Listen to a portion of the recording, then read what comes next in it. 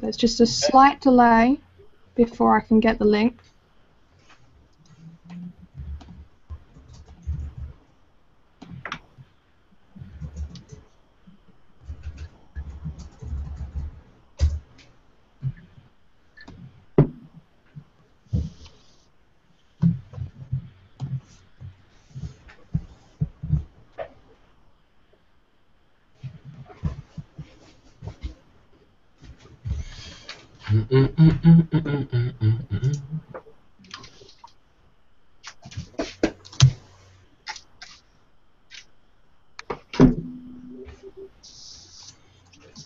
I gotta get my thing going.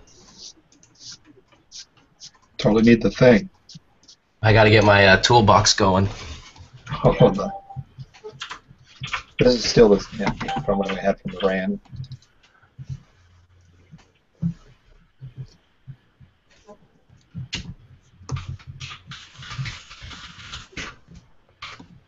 Welcome to the show, Anthony. By the way, sorry it's been a a little bit of a mess. No problem. Go. okay, I've got it. I'm putting it in our Google Hangout chat. There you go.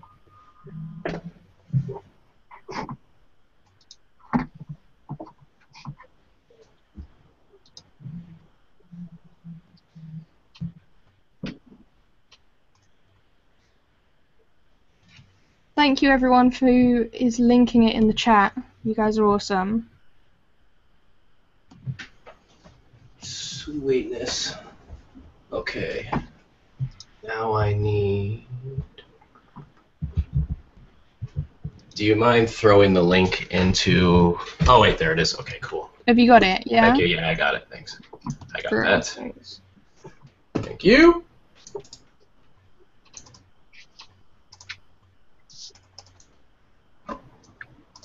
It's there.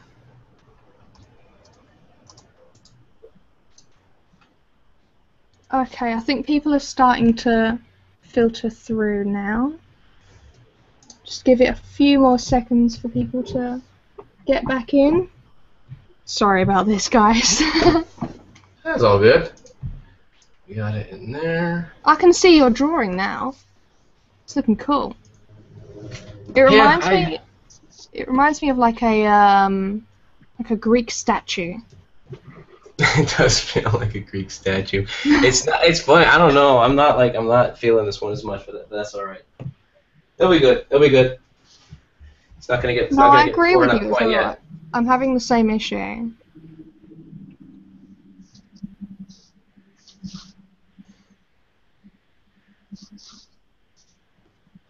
Okay, I think we've got basically everyone back in. So, welcome back to part two.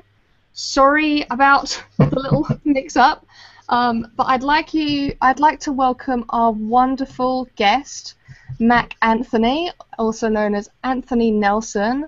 So, do you want to tell people a little bit about yourself, like your a little bit of art background or anything?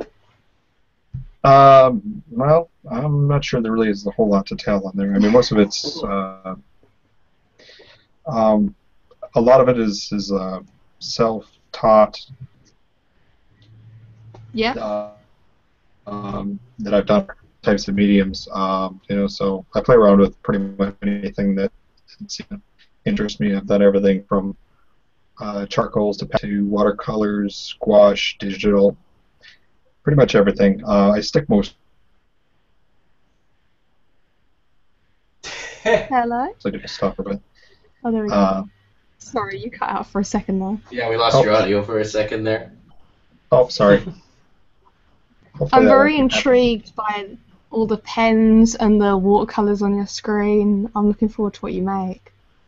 Well, the pens are here just because it's my desk is a mess. Um, but yeah, the watercolors. I thought I was going to do something with, with watercolors tonight, and there it was. It's kind of a tricky picture to.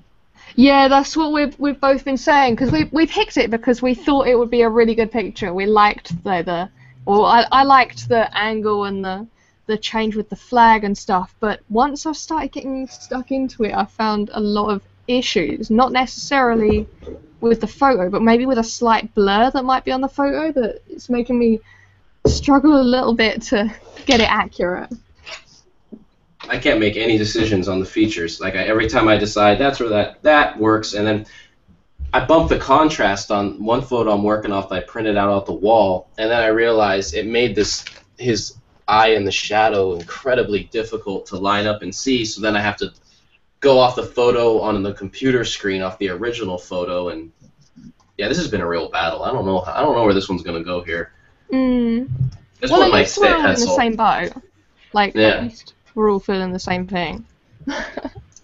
Well, it was mine is because I had a few different uh, mediums that I could play around with to pick from on there, but this one was like, like not an obvious choice. You know, some of them you look at, oh, I'll, I'll do that, you know, whatever medium. But this one was like, um, not sure exactly what I want to do with it. So, um, but watercolor is pretty easy for me, and it's uh, it's a can be a pretty quick medium since I'm playing catch up too. So.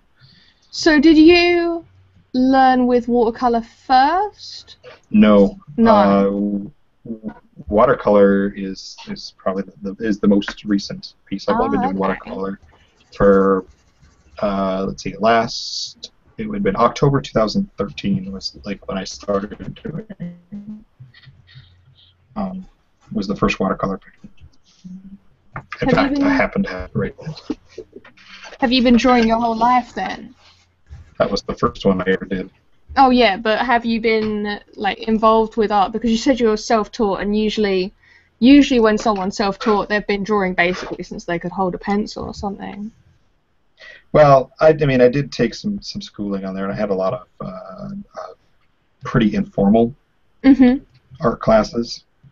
Uh, but I would I wouldn't say that I'm I'm a, a student of the arts. But, no. you know, uh, so yeah, yeah. but I've been drawing probably since you know I don't know since I was like five or something like that. You know? Yeah, I, I'm absolutely the same. I'm, I- I've had a little bit of schooling here and there from just, I wouldn't call it real schooling. It's just like art class in school. But yeah, I've been, I've absolutely been drawing ever since I could hold a pencil. Yeah, I mean, I did take like a, a commercial art. I started out uh, when I got out of high school, and then my first one was uh, taking a commercial art course on there. But after a year of that, I decided that really wasn't wasn't my bag. So, uh, but I wouldn't really consider that, you know, like traditional art um, because it's more design based. Uh, there's a lot of layout. Um, and things like right, that that- very that composition based then. Yeah, and you know, it's and that was part of it. The reason you know that kind of turned me off from it is I thought it would be a little bit more. I knew it wasn't like fine art, you know, the fine art courses, but you know, I thought it would, there would be a little bit more um, of that. And even that we're doing it, that you know, graduated, and, um, ended up making a career out of it on there. It, it, it just really didn't seem to be something that fit me. So I kind of just kept art as a hobby, and actually I kind of quit doing art for about ten years, where I didn't What really? I didn't do much of it. Um, and then about three years ago uh, is when I found Reddit Gets Drawn and a few other things uh, online on there, and I started getting back into it quite a bit. So, but now I probably I draw way more than I ever did, in, all my art stuff, you know, painting or anything else like that. I do way more now than I ever did before. So. That's really cool. I love that you kind of discovered it again. That's really cool. Yeah, it was it was uh, something you know, family and things like that. A whole bunch of other stuff got in the way, but you know, ended up.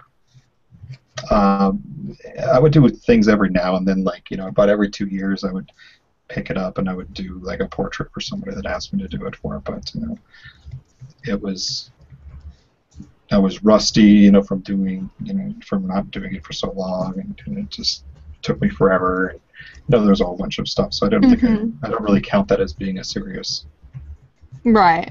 Just like Um, playing around every now and then. Yeah. That's cool. So yeah, so it hasn't been until like the last three years that I really, really picked it up, and I've done a lot of other different stuff Uh, that was the first time I ever did digital. Um, was a couple years ago. You know, like I said, I recently picked up watercolor. Um, How have you uh, have you found the transition from traditional into digital? Uh, well, I don't know that I can really say that I fully did it, you know, because I only did a few hmm few pictures of it, you know, saying um, for me to say that I really transitioned into it because you know I probably spent like three months where I was doing uh, digital work, and it was just so I liked it a lot, you know. Yeah. Um, but it was certain parts of it that I just I liked the tactile feel of, of doing Yeah, I absolutely traditional agree. art more. Yeah. You know, getting dirty, smelling the paint, and then all Yeah. that on there. And I kind of just missed, missed all that. Um, yeah. Plus, it ended up being just easier just to take it with me to and go, you know, just with a sketchbook and a pen. Um, you know, so I still every now and then, I every couple months on there, I pick up my digital tablet and I mess around with it a little bit, but um, I haven't really taken a serious foray into the digital world yet. Yeah. I found it really hard to get into digital art. I really struggled with it because I all I knew. I mean, I made a lot of artwork on PowerPoint. That probably sounds really weird, but I'd essentially yeah, I'd essentially use the freeform tool as the pen tool that you get in like Illustrator and stuff like that. Mhm. um, and I'd make artwork that way. But then when I got my tablet, I was so excited. I thought, oh, now I can finally draw properly. And I got a tablet and I got Photoshop. And then I found it so difficult because I could never work out how to create stuff. And I think I ended up walking away from digital art for several years. And it wasn't until about maybe two years ago ish maybe two or three years ago where I got back into digital art and started to figure it out and learn it, and now I actually really enjoy it. I think it's interesting to see some artists just walk into it and they just immediately they know everything they're doing, and others just can't bear it. I'm currently struggling through trying to learn digital. yeah. What Well, what kind of things is it that that kind of hold you back? Well, you know, when you're first learning, di- when someone's learning digital, every, the, the there's a look to it. It's like I think every kind of medium Mhm. has a look when someone's learning. With digital, everything looks very like transparenty, and then Yeah. lines, like lines, and then there's no volume, and um, I feel like it's kind of that that same thing with uh, like like that that that's where it comes across. And with digital, it's hard because it's all about like knowing which button to push, you know, and Yeah. um, and then it you know so I found that for a long time I didn't know that was just like there's the uh, the button that would uh, make it would affect opacity with the pressure. Yes. I didn't know that was even an option, and then it made this huge difference. And it's so funny, 'cause, like, and that's what it was so many times. Is I'd be trying to work this thing, and I'd be like, I know there's a way to do this, but it's it's all about knowing like which button to click. Uh huh. Yeah, definitely. Um. Mhm. I think that's why it's so helpful that there's just billions of, of like um, tutorials all over the internet. That's once they started getting big, that was when I could figure out what I was doing because I'd just sit there and watch tutorials and learn how to do it because I felt like it doesn't feel as intuitive as drawing in IRL feels. Like Yeah. Yeah, it, it's you know, it, yeah, it, you know, and, and as I've kind of done it a little more, there's like the little things that kind of people have suggested. You know, don't try to focus on having too many layers when you're starting. You know, and um, yeah. you know things like that. I mean, that advice helped me, and then you know I had some pieces I had some okay success success with, and I'm trying to like do the thing where maybe I start traditional and then I scan and then work on top. Like it just feels it was hard because it felt very uh, removed from the piece. Like I'm not, I, and I'm, I'm working on a tablet where it's it's the I think the Intuos 4, so I'm you know it, I'm looking at the screen and drawing on a tablet, you know, on my lap or something, and That's it's exactly what I've got right now. I'm working on an Intuos 3, Uh. which is the one before that one. So I've got, I wonder if I actually have the three. I'm, I'm not sure. I've had it for a while, but yeah, Yeah. so I'm sitting here looking at the screen but using my pen. And that's why, I think that's why I struggled for so long to get into it because I couldn't get my brain. It just felt like I was so far away from what I was drawing. Yeah, it it's it drove me crazy, and it, it Yeah. still would, you know, and I could I just could not get used to that, and I just kind of hated that that I'm that I'm drawing on a surface, a different surface than the one I'm looking at, you know. Yeah. Um, and even if I if I felt like even if I got used to it, it would still be that thing that kind of annoys me, you know. Yeah, Um, it's still irritating, even after I've Yeah. I've gotten used to it now, but it still annoys me.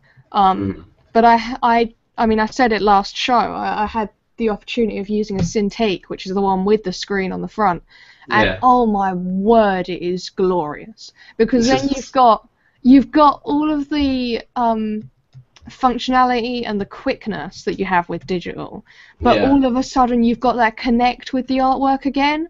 Like it doesn't Yeah. feel so far away. It doesn't feel so. I guess sometimes it feels weirdly emotionless because you don't have that tactile like feedback with the paper. I don't know if that makes sense to people. Yeah, well, it would feel like you're almost wa- even though you're the one making it, it would feel like you're watching a drawing being Yeah. made instead of making it yourself. Yeah, Um, but the the Cintiq is just gorgeous. It really is. Well, and the funny thing is, is it, it gets to that point where you like eventually the standard will be the Cintiq, and Yeah. and the the skill of looking at one screen and drawing on a different one, That won't be be- a thing. it won't even you won't no one will have to learn it. Yeah, that'll You know what I be mean? obsolete. It'll be completely obsolete because you'll have the option for digital that's the one, and then traditional, which is still the thing. So why would anybody do the other one? You know. Mhm. But it's kind of funny that the prices are not dropping fast enough for those products, you know. Well, the thing is, they don't need to because one, there's there is a little bit of competition, but it's still very unknown. Yeah. And then, so why why lower your prices if no one's there to compete with you? yeah. And then two, they've basically got like market monopoly, and most of their clients have a lot of money. So a lot of Wacom's clients aren't us. They aren't us sitting at home with our own little studios that we run and that we sort out. Most of mm. those clients are massive corporations that run like um, animation studios and game studios and stuff like that, where they Mm. can shill out thousands and thousands and thousands and buy 10 Cintiqs for a studio room, and that's Mhm. absolutely fine. So if you know that you've got that business to business sale, why bother decreasing your price? It isn't until it becomes way more mainstream and also way more competitive in that area that we'll start seeing price drops. It needs And to be like eventually it will. It eventually will. I mean, It will, you, but it's you only have time. like Microsoft Surface competing kind of, Mhm. and there was the uh, Monoprice tried to do like It was the Monoprice, yeah. I heard I've heard good things about that actually.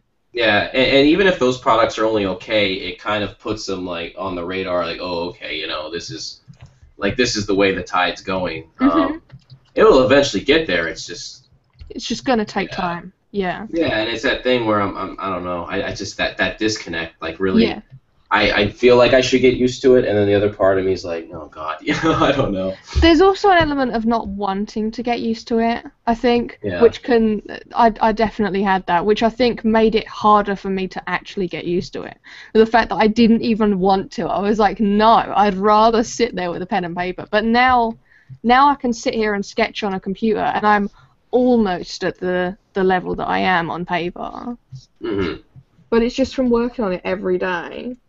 Yeah, I should just I should just sit through it and Yeah, manage. chat, chat's agreeing that the same disconnect they have is the kind of element where you're watching and not doing. Yeah, definitely. Damn you, Wacom, Wacom, Wacom. Is it Wacom or Wacom? I think it's Wacom. I've always heard Wacom. Yeah. Good to know. back. Sorry about that. AFK Much is mentioning also the uh, Samsung Galaxy Note has yeah, I uh, just saw that. is good for that too, and that's also a good point. And even That's to a good certain degree, what's the um, what's the app that's for phones and tablets that's actually pretty good? Was it like Sketchbook Mobile or something like that? And that was supposed to be a pretty decent one. Oh, I don't know.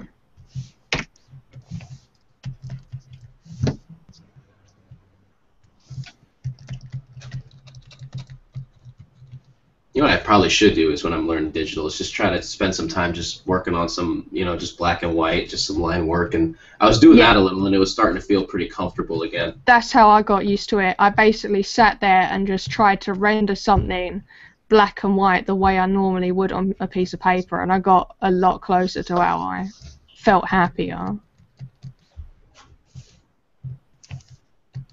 Do you, would you still prefer traditional or di- or digital? Definitely traditional. I think there's a need for digital in my work, and I can create things in digital that I can't create in real life just because I don't have the money to spend on the real tools like oils and stuff. Um, Mhm. But yeah, absolutely, I prefer traditional because it, I I just I like the feeling, and you just don't get that with digital really. Um, I'm getting. I think once I have a Cintiq, that that might change. That answer might change. Mhm. Um, but until I get a Cintiq, then it's always going to be uh, traditional. Also, I love working with just like a ballpoint pen or something and just sketching. I love to just sit there and just sketch continuously. Just like with a b- very basic tool. Yeah, just like what? Because I used to sit in class all the time and just sketch with the pens that I was using for working on like my essays and whatever. And just sometimes I just sit down and do that again. I just pick up one of my old rubbish pens and Mhm. just sketch and enjoy it for a bit. And I think that's just fun to do that sometimes. I haven't sketched in ages. Oh, dude, sketch. I, Actually, I don't know. Every time I sit down, I was like, I should sketch, and then I'm like, I'll just make a thing, and they're like, I'll, it just turns into a project. I never just Yeah, draw anything. It's weird. I don't know why I don't sketch. It just kind of doesn't. I don't know. Interestingly, I don't like using sketchbooks because it makes me feel like I need to do something important. Like I feel Well, like the blank page in a book makes it feel more important and like I have to do something special. I prefer to work with like um like a, a stack of papers and just doodle on them and then throw a stack of paper in the recycling and then work on the next one. I could. Yeah, you just throw them away. See, for me, it was that thing where I stopped. I have a bunch of sketchbooks, and I kind of want to go back into them, but I stopped working in them for a while because I was in studios where you would could where people were coming through each month or semi regularly, and I'm like, they're always looking for cheap art, and I'm like, you know, if I just sketch and had little sketches for sale, so I would start working just in tearing sheets of Bristol or something because then I could then I could just throw it and I would I would tear sheets of Bristol to the size of like pre-made frames. You could just buy cheap frames at stores, you know, yeah. and then I would just could throw them in there and then try to just sell those for really cheap, you know. And so That's that's like cool. kind of what took me away from sketching, though. Like there was always some kind of practicality that Yeah. ruined it. And I, do you know? And the, the, the funny thing is, is you know actually where I started to actually feel like I was sketching again was uh, using Snapchat, which is kind of hilarious. really? Yeah, like doodling in Snapchat, like seeing how far I can push a drawing in Snapchat was felt like sketching again. Because then I could just send it to friends, and then it would just disappear. Like I, you know, and you could I could technically save it, but I like the idea of kind of not, you know. Mhm. Yeah, and so it was. I think it was that things ha- having some format that forced me to reduce my materials. Uh, so I think it's a lot like the ballpoint pen thing, like something Yeah. that just forces you to not to to not think too much about the resources. Yeah, and just run with it and see what happens. Yeah. Look at this. in The Windows is ready to. Yeah, let's throw ink on this. Who cares? Let's see what happens. I've actually just suddenly decided to completely change what I'm doing. I was going to do a really painterly style, which I've been playing with, and then I've just decided that it doesn't suit what my, I guess, my vision for the pieces. I'm going to do something a lot more cartoony kind of now. But that's why, I chat, that I just got rid of everything that I just did.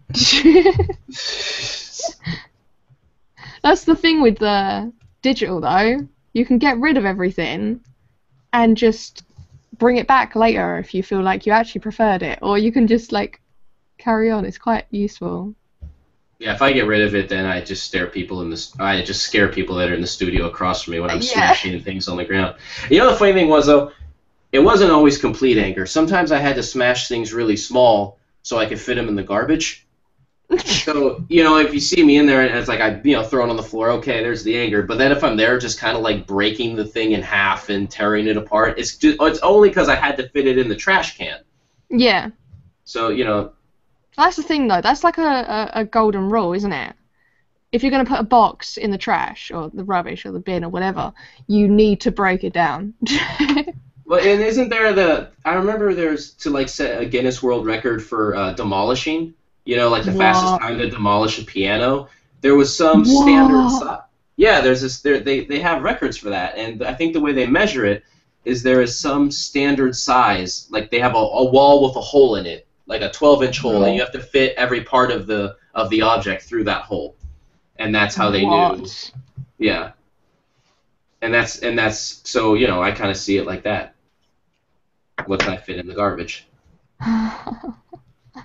my uh, my neighbor has the coolest little tool I've ever seen. It's like some kind of knife thing, but it just shreds boxes. It, you you just swipe at a box and it just disintegrates. It's the coolest thing I've ever seen. Oh, that's crazy.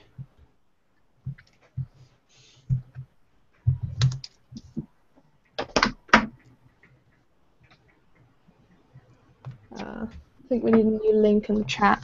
Yeah, I was just. Are you doing that right now? Or I can do it here. Let me- Yeah, I don't think I can Here, do I, I, that. just, I just set one in there. Thank you. So we had something else come up in rec- like this week in uh, Mm. Artist Lounge, which was about how do you find time to be to work on your art when you're so busy, like you've got family and kids and stuff. Now that's not something that I know that I don't have any reference for that. So I was wondering if Mac Anthony might uh, have a little more knowledge for that. Yeah, I've got uh, got the whole family thing going on on there, and it was it was really tough, you know, for a while, and that was part of the reason why I took such a long break with it. Is that it was just hard to. Well, I wouldn't. Okay, I shouldn't say it was hard to. It was mostly an excuse not to get back into it. You know, because if you really want to do something, you're going to do something. I yeah. mean, even if you have an obstacle in front of you, or no matter what that obstacle is, if it's kids, if it's family, if it's your job, if it's money, or whatever else, you know, whatever the obstacle is, it doesn't matter. You know, if it's something you really want to do, you'll try and find a way to, to, to do it. And I think most of it was is I just I liked the idea of doing it, but I, I lacked enough motivation to really jump back into it for a long time. Yeah. I, I I hear that a lot from people at conventions. You can see that they love the thought of art and they love the idea of being really great at it or the idea of having their own comic book or something like that like being on like my side of the table but then they don't have i guess either the drive or something that pushes them to go ahead and do that Right. I I think there's a difference between the energy you have at the beginning of the day and the end of the day. Like I want to make art the most about 45 minutes after I clock in at work. And then I I cannot make art for I can't even think about starting art for at least another 9 hours. i'm the After work. complete opposite Uh, uh, uh, I can't remember what it was, but I think it was uh, Big Think or one of those YouTube channels on there had something uh, that related very close to that on there, and it talked about how um, you know that your your body does not want to be bored on there. So when you're in, you need, but you need the boredom to uh, be motivated to create stuff. You need that that as the driving force on there. And so when you're at work, that's what you are. You're bored. You know, so you think of all of this creative stuff that you can end up being doing. You I know, and then once you actually get home, video yeah Well, it's hard though because you're exhausted too. And then so by the you time are you tired get on there, but you know, you know, but you can. It's it's easy to find stuff to not be bored.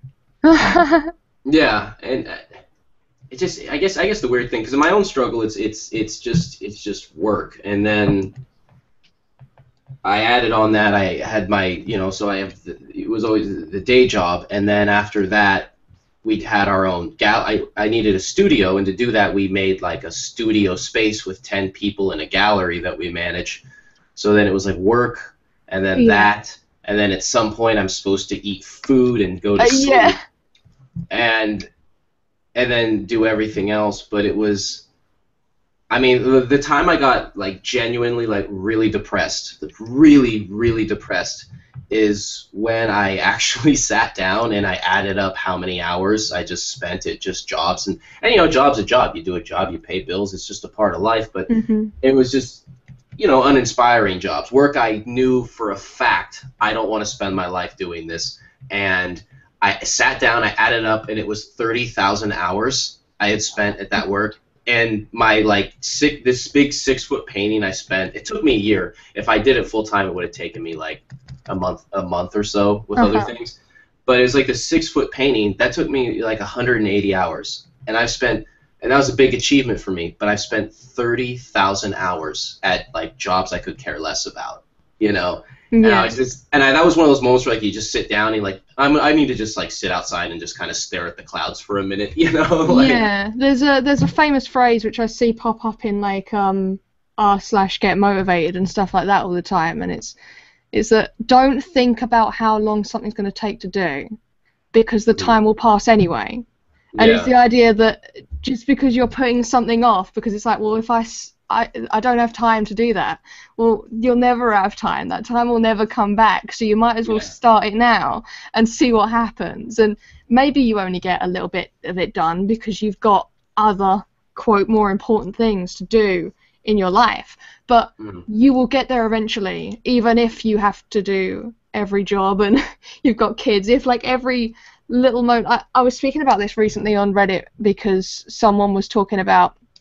They said, how can someone at the age of 22 have two graphic novels out? They said, there's no way that you can possibly be good enough to be able to do that. And I said, it comes down to optimizing your day.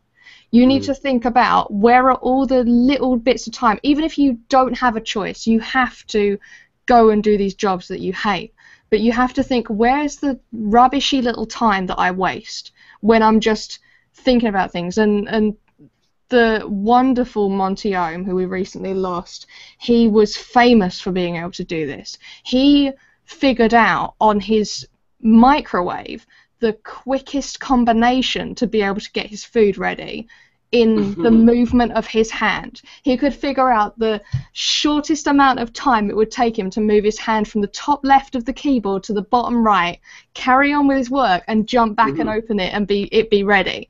Because he realized that every little second that he wasted was another little second where he wasn't getting his artwork done. So even if he had even if you have a billion other jobs and you've got uh, your family to look after and you've got everything in the world weighing down on you, I'm sure there's still that five little minutes that is being wasted in your brain. Like just from do just from sitting there shutting down for a minute when it could be a tiny little sketch in a sketchbook or something. And that's what I did. I would walk between classes thinking about my next piece and I'm planning it and I'm looking around me and I'm examining stuff, but I've got a place to be. But I'm still thinking, right, I want to do this, this, this, and this.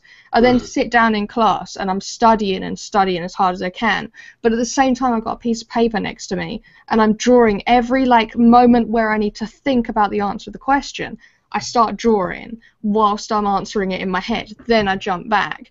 Um, I'd even have I'd even ask my teachers for extra pieces of paper, and they'd give it to me because they know that I'm doing the work fine, that I'm going to be sitting there drawing as well. But they don't mind because they know they can trust me because I've got this kind of weird optimization thing going on where I'm trying to make sure that I get everything done to the best of my ability and do be aware that that's going to knock you out eventually like don't Yeah. overdo it but Well, because yeah, eventually Yeah. you, just work and like for me, uh, the Non-stop, busy times it was work until I actually get physically sick. Like I just get sick and then I have to stay home from work. absolutely yeah like don't drive yourself to the point where you can't like cope with life anymore like absolutely don't do that but if if you are I think I think a if you have to do yeah. it, do it.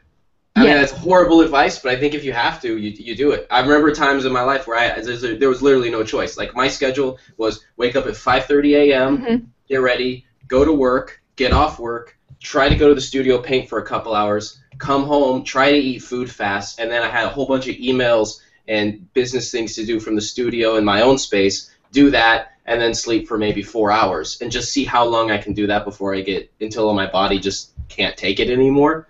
And it's not the best way to do things, but I didn't really know how what my other options were. You know, like I didn't have there was nothing in between. And then I got like I just like put on a bunch of weight, and that sucked. And um, Yeah.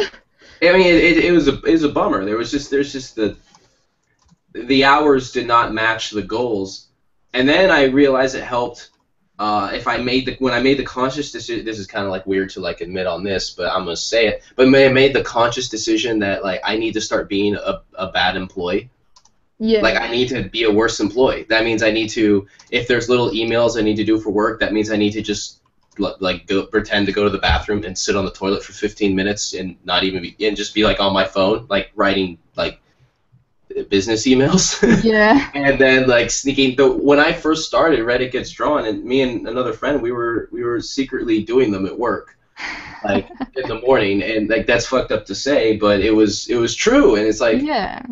it's gonna ha- I mean it's just that's when it had to happen you know so Yeah. it's, for larger projects it doesn't work but it was at least something Yeah, it's Right. little things that keep that art in your life, and I think a lot of people think that if if you're gonna try and keep if you, you're gonna be an artist, you have to be the kind of artist who makes enormous artwork and stuff like that. But just drawing like a tiny doodle every day is good enough for you to keep that little bit of art in your life and keep moving forward with it.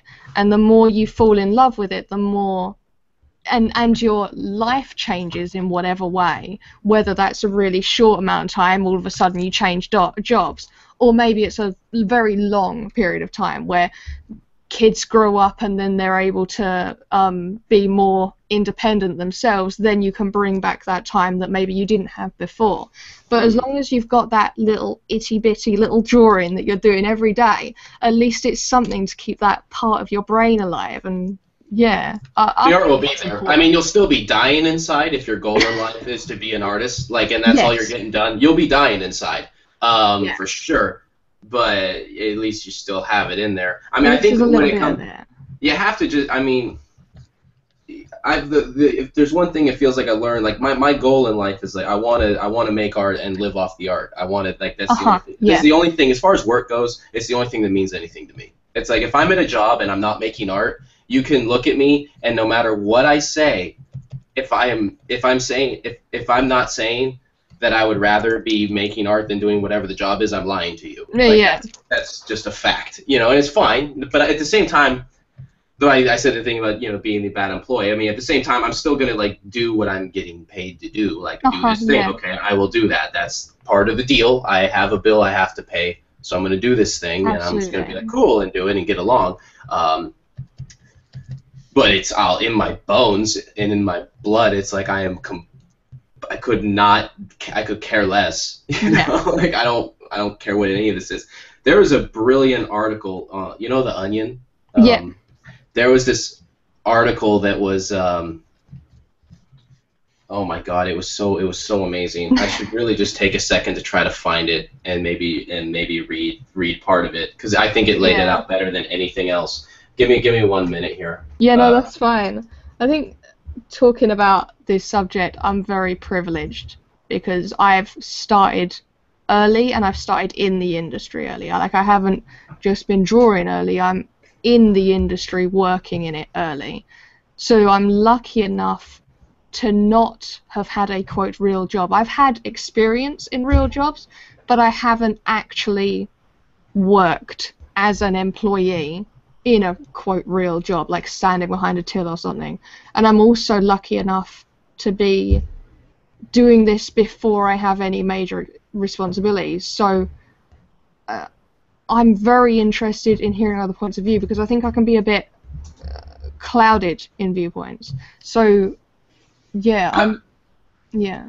I would just say I'm like to me personally, for where I am right now, how I feel like with with art, I think literally the only hurdles in my life with art are time and money affected mm-hmm. by ha- just having to work. Yeah. Like I I know right now I'm making paintings I would have made ten years ago if it wasn't for that time that's lost. And it's not a healthy way to look at art. Like, because you just, the best way to look at it is just do it in the moment. But every now and then, like, you know, you, you'll get in bed and it's you're just in the darkness and you're there with your thoughts and you're just like, oh my God, you know? And it's, it's, a, it's a horrendous way to look at the world. But, you know, it is, it is pretty much like living this, that constant state of, you know, like, I should have asked her out, or you know, like Mhm, I yeah. should have done. You know, it's it's a whole bunch of like coulda, shoulda. It's so not healthy. and it's so it, it's not productive at all. The best thing you can do is just make art anyways. The Yeah. only the thing that gets me through it like is is the idea that it's you're gonna make art anyways. So Yeah. just make art. Yeah. It doesn't matter what your circumstances or what the scenario or how little when you make it either. and just make it the thing you want to make. It- like you can't you can't think about you can't think about like because lots of those goals are also they're not they're not they weren't created in an environment that took your life into consideration whatever your circumstances might be. Yeah.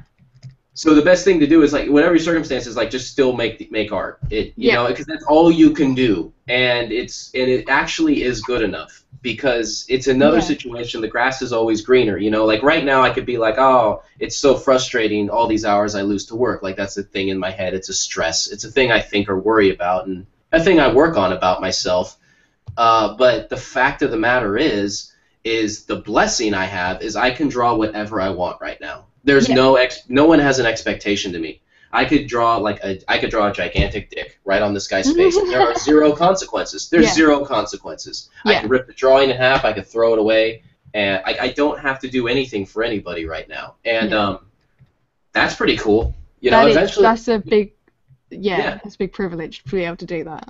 if I find success in art, I will I, I will not have as much freedom in that area. There'll be projects Yeah. I'll need to do, and but I'll be I'll be trading that freedom. I can draw whatever I want, and it doesn't matter. It doesn't matter if it's offensive or weird or if people don't get it or if it's just personal. Like it, it doesn't matter. And so I'm trying to remember that for every side there's the other side, and it's to find those Yeah. things. Well, I'm not in that I'm not in the, the situation that I'd like to be in. Maybe I'm a little tired of the situation I'm in now, but why not take a step back and look at the benefits of it and then just focus on those, you know? Yeah. Absolutely. Absolutely. Preach it. This Onion article was actually I read it and I had to just like not do anything for the rest of the day though because oh no. it's so it, this is the best summary and written in that perfect satire style. I don't even know if it's okay to just like read an Onion article. I'll just read some of it, but uh, it was written by David Ferguson. It's called "Find the thing you're most passionate about, then do it on nights and weekends for the rest of your life." Yes, Uh, I read this. I have always been a big proponent of following your heart and doing exactly what you want to do. It sounds so simple, right? But there are people who spend years, decades even, trying to find a true sense of purpose for themselves. My advice just find the thing you enjoy doing more than anything else, your one true passion, and do it for the rest of your life on nights and weekends when you're exhausted and cranky and just want to go to bed. It could be anything music, writing, drawing, acting, teaching. It doesn't really matter. All that matters is that once you know what you want to do, you dive in a full 10% and spend the other 90 torturing yourself because you know damn well that it's far too late to make a drastic career change and that you're stuck in this mind-numbing path for the rest of your life. Is there any other way to live? I can't stress this enough. Do what you love in between work commitments and family commitments and commitments that tend to pop up and take immediate precedence over doing the thing you love because the bottom line is that life is short and you owe it to yourself to spend the majority of it giving yourself wholly and completely to something you absolutely hate and 20 minutes here or there doing what you feel like you were put on this earth to do. oh god. Oh god. It just goes I don't know if it's like right to read a whole like thing another person no, we should wrote probably on it, leave so it I there can't do before we that. get some kind of But yeah, yeah, Copyright. exactly. But that's um, it goes on like that, and it just gets more and more brilliant. I think um I mean obviously The Onion is satire. Everyone Yeah. knows that. Um Not something everybody. well, you know, not everyone knows that. that's true. There's the, there's when there's a subreddit called Not the Onion. It's just like, Yeah. like news has gotten that ridiculous, where sometimes it's hard to to find the line between them. hmm Yeah. Um, but something I, something the the article said was that it, it's too late to do a career change, and uh, I want to give people a little bit of hope with that. So I watched a documentary last night. Well, it wasn't a documentary. It was kind of like X Factor, but for artists. It was very strange. Anyway, so uh, they were they went and talked to the granddaughter of Winston Churchill. Um, and they went to his art studio. He had like he lived in a glorious castle, and uh, in one of the rooms he had a little art studio, and in it were just some of the most beautiful paintings, just absolutely gorgeous. I believe they were either acrylic or oil, one of the two, um, and paintings of London and the surrounding areas, and just absolutely gorgeous. And then when they started speaking, they said that um, Winston Churchill actually started painting at the age of 40. He hadn't painted before that. I think Hmm. might have dabbled in it slightly, but he started at the age of 40.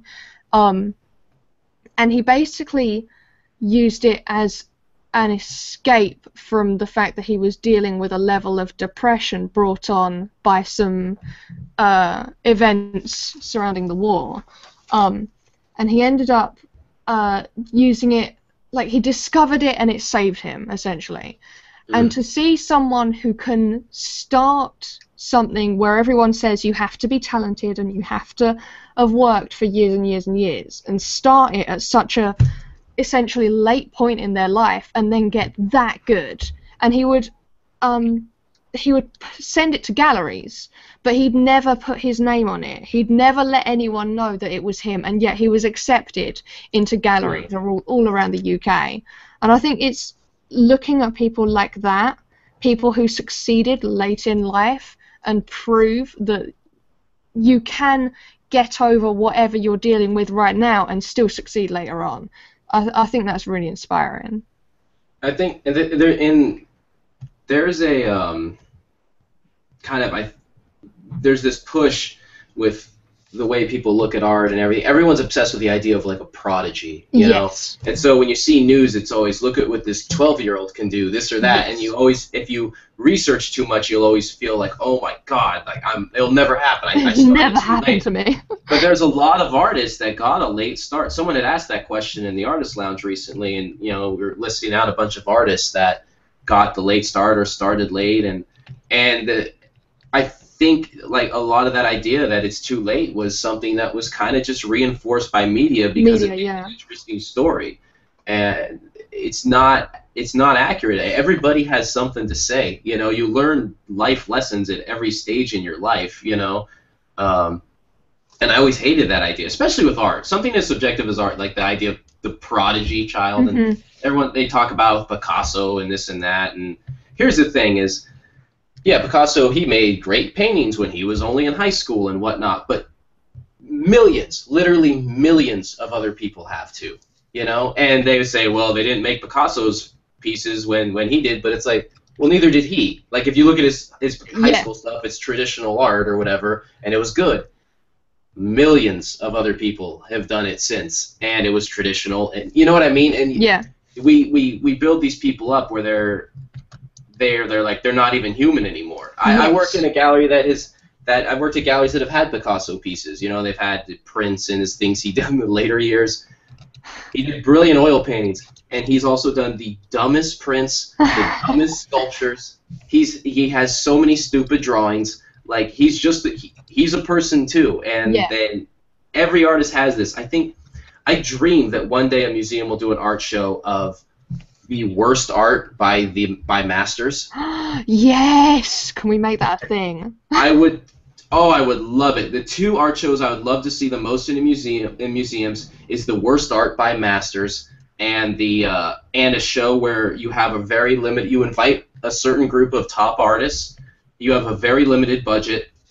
Like you give them a budget of you know $150 or $200 and then they have to make all the art them- by themselves no help on a fixed budget and then let's see what the artist can do like just things that would kind of like set it make a set of rules that levels it back to that very basic idea of just what making something was you know Yeah.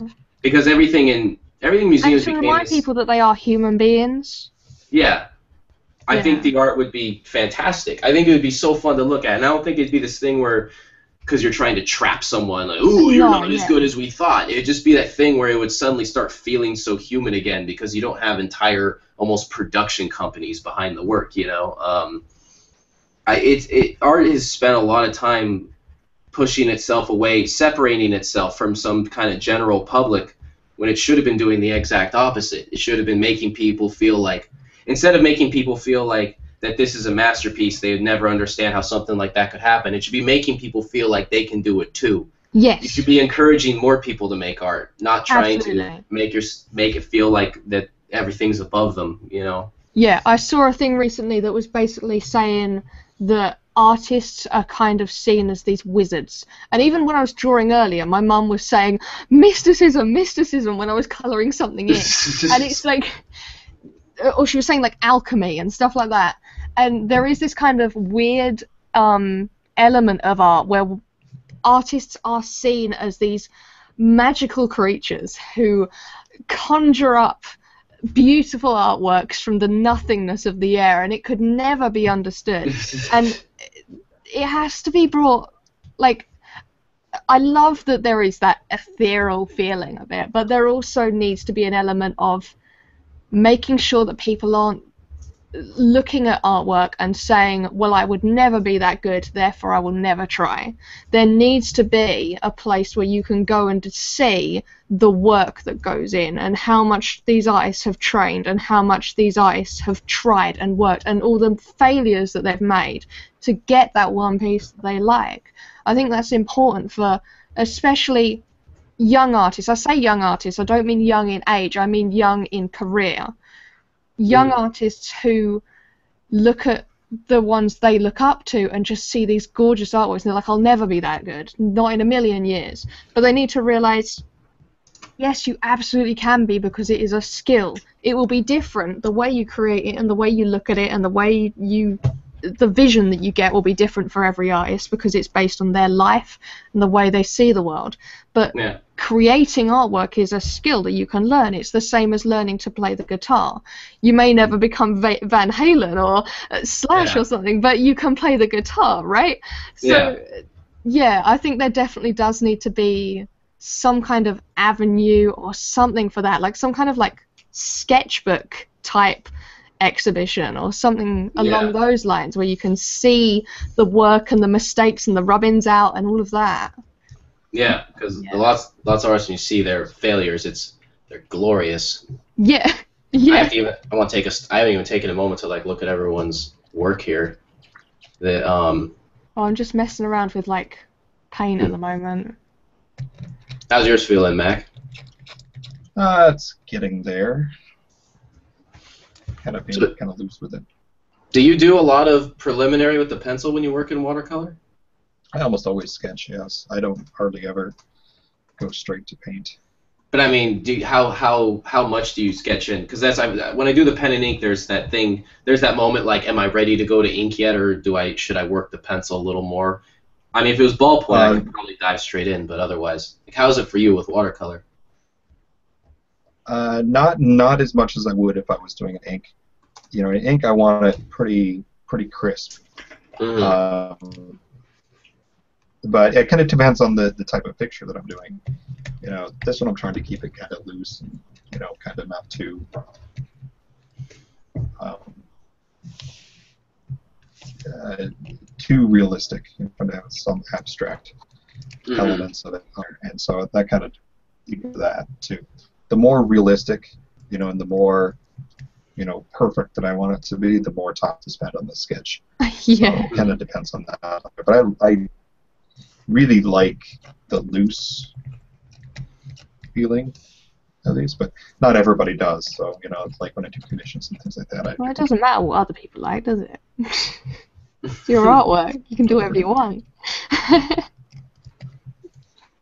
and that's what I'm saying. You know, if they are, know, Yeah. if they're footing the bill for it, you know, then then they get what they Mhm. want.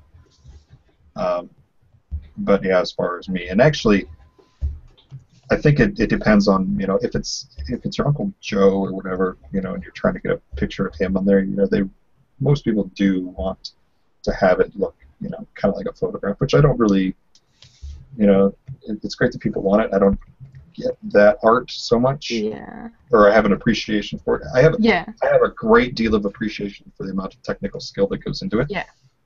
Uh, but to me, then you know, if it looks just like a photograph on there, well, you know, then I appreciate it at the same level I would as a photograph. It's, that has the same thing. Oh, What? You okay? shit. what? Did you just drop I a opened my or something? marker and then like a bunch of water ink shot all over the place. Oh my god! Oh. It's okay. No, it's all good. All good. Carry I mean, on. Doesn't I think a little bit might have gotten in my wine and on my cookie, but I'm gonna still eat them because I don't think it's, I don't think it's enough to technically be poison. Ah, it's the spots here. I always used to get told I'd get ink poisoning in school. Everyone would say you're gonna get ink poisoning and die that way. Cause I'd draw on my hands. What you do I- is you just yell, "I'll never die." no, I'd run out of paper. I'd be sitting there and I'd run out of paper because I'd, I'd fill it all up with drawings. So then I'd just start drawing up my arm. I'd just like do little um like anyone who knows Naruto, there's like a, a character called Sasuke and he gets these weird patterns up his arms. I'd draw stuff like that and like little weird like hieroglyphs and stuff and draw the contours of my arm and I'd just get an arm just covered like up to almost up to my shoulder in just ink. And people are like, You're gonna die. You'll be fine. I remember one time I get bored in class and I draw watches on my wrist, like different watches. wow, And- that's brilliant. and then and then uh, my I remember my dad giving me the oh that's bad for your thing and I'm like whatever.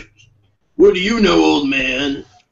But uh, yeah. Did you ever like you know put the time in so like the class was over and then go in and tell the teacher? You, kn- oh, well, I, you know what? I don't think they'd believe me. I think they would call. I think they would call my bluff. Um, Maybe. I don't No, know. I just- You never know. well, it is the public education system, so maybe it would work. And and uh, U- the United States is known for its top of the line public Oh, education system. Absolutely. That and our healthcare. That's what we're known best for. Yeah. Um, I don't know. I it was like I just that's just kind of was my school time killer. That and then doing a thing where you draw the spiral and you just keep expanding it, but see like how close you can get the lines to each other without uh, without them touching. Well, I never did that. Oh, that's a fun one. You should. I, you're the one that would draw the Pokemon characters from different angles. I'm surprised you didn't try like the spiral. Oh, I want to try the spiral. I'm going to try it now. So you have to get it as close. Oh, crap, I missed. Yeah, just keep expanding it out, but try not to get the lines as close don't as touch can without them touching. Ah, oh. you Yeah, it's really it. stressful. And it's a really good way to make sure you're not paying attention in school. no, you made me laugh and wiggle the line. I ruined the line for you. That's how that's how exciting high school distractions. I had a friend. I had a friend's little brother. He worked like in the journalism in, in his high school, you know, and he did like he had to. He, for some reason, he had to interview someone from another, a senior from another school, like that had just graduated, and like, what were some of your regrets that you wish you did in high school? And I told him, and he put it in his school paper. The first thing I wish I did is I wish I stole more from my school because there was a bunch of art supplies I could have used that I could not have myself. and then the other piece of advice I said was, uh, I wish I did not try as hard. And and then I had to justify it. But the idea being that I spent so much time trying to be a good student that I didn't really have like what I remember from high school was like the good times with my friends, and I wasted so much time trying to be a good student. And I, that sounds messed up. Like you should be a good student, obviously. Yeah, I don't. But um, I realized that where I kind of ended up going in my path, I could have done with like a C average and gotten way more art done.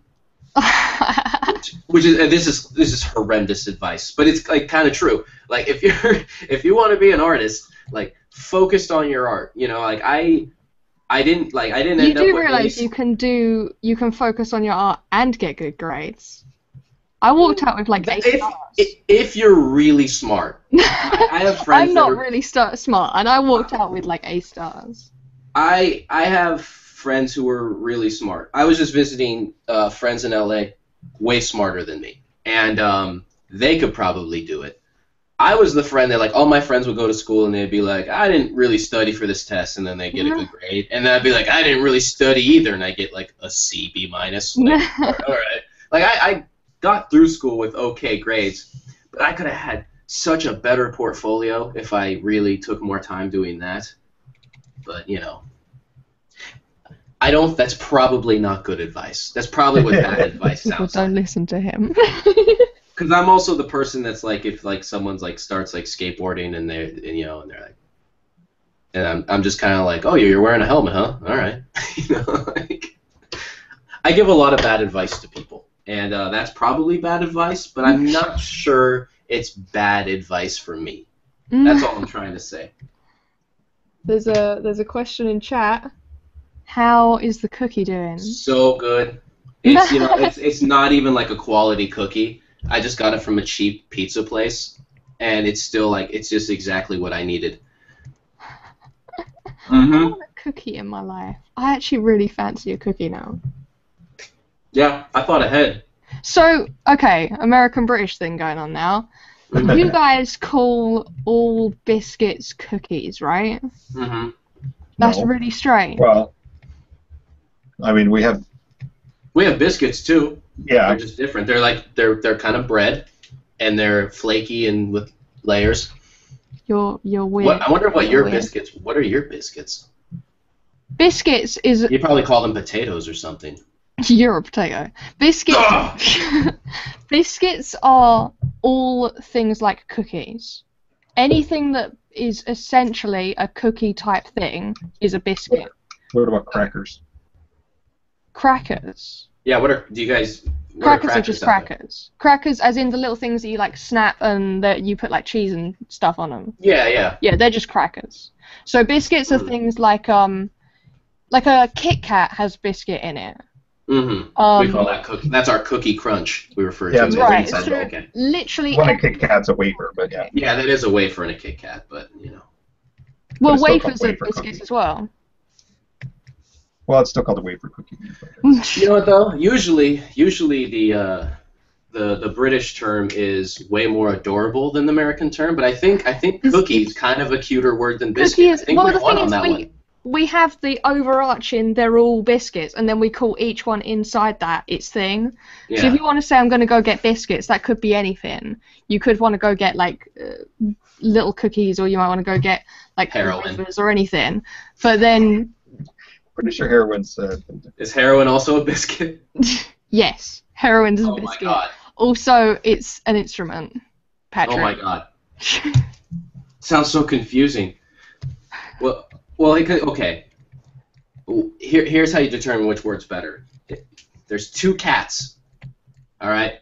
One's a biscuit. One cat's name is Biscuit. One cat's name is Cookie. Which cat is more adorable? Yeah, cookie's head? cuter. Yeah, yeah, right. Cookie's a kitty, right? Biscuit is kind of like Biscuit's pretty cute because it's like the bigger fat cat with the longer hair and the bigger whiskers. But Cookie's like the cat that will like be in the room and then suddenly like freak out on its back for a second and then run around in circles really fast and I then have fall a cat asleep. that does that. Yeah. Yeah, that's Cookie. My cat that does that is called Cosmo. And Oh, he's that's a a cute name. Yeah. You never guessed all our cats' names. Yeah, we got Wait, Cosmo. how many did I? How many? What did I guess the cat's name? you didn't guess any of them. You said bullshit answers. I thought I gave real answers. That doesn't sound like me. That doesn't sound like me. I, I think I would have given a very realistic answer. It doesn't sound like my style at all.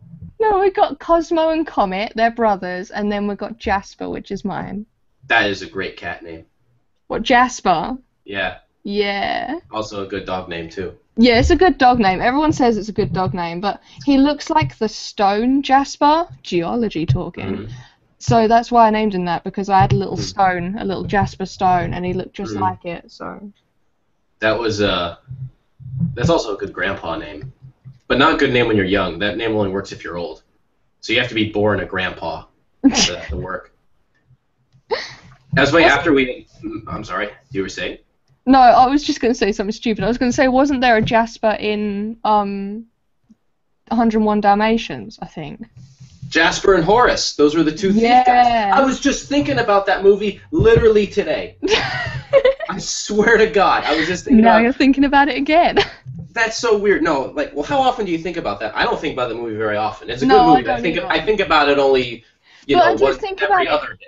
I did No. think about it the other day though, because someone posted a picture from it on Troll X. Maybe that's Mhm. why you're thinking about it. Oh, probably. Because someone said this is what life should be, or something like that, and then it was a picture of the uh, the lady reading a book next to her Dalmatian. Oh my God, that sounds that's that is that's exactly what life should be. That mo- that movie actually had I really loved the the drawing style in that movie, and yes. even as a kid, when I saw it in I saw it in the theater as a kid, and it was like that was a great movie, man. That movie was intense. It was hard to handle as a little kid because you're you're sitting there hoping that they don't skin a hundred puppies. yes. The- oh my god. That's the presence of the. That's what the movie's about. So these puppies are like trying to sneak through a room through like a hole in the wall to get away from someone who wants to skin a bunch of puppies. And Yes. so that's a lot to handle when you're like eight years old. That's a lot. And then like the show's coming to an end and the guy starts waking up and there's still like the fat puppy that can't get through the wall and you're like, that's really that cute. little You're gonna puppy die. You're so cute, but you're gonna die. Like you can't handle that. with his little wiggly legs. I love him. Yeah. And you're you're rooting for the dog to not get murdered. It's not like they're trying to win a cooking contest or something. You're rooting for all the main characters to not be murdered. Don't die, little so puppy. much. That was so much for a kid. And it's puppies. It's it's puppies. I, I can't think of like what would be harder. Like maybe like baby sea otters or something. Like what would you know? Like, especially the fat one, Rolly. Oh my god. I mean, he was the one like he was the one that like wouldn't fit in the hole in the wall or whatever. But the part where he goes, uh, where he looks back at the mom and just goes, "I'm hungry, mother. I really am." Like that second, like he had to think about it. Oh my god, that movie's awesome. We should just stop drawing and just start watching that movie on the cast until Google eventually uh, disconnects it for copyright. No, I don't want a flag on my stream, dude.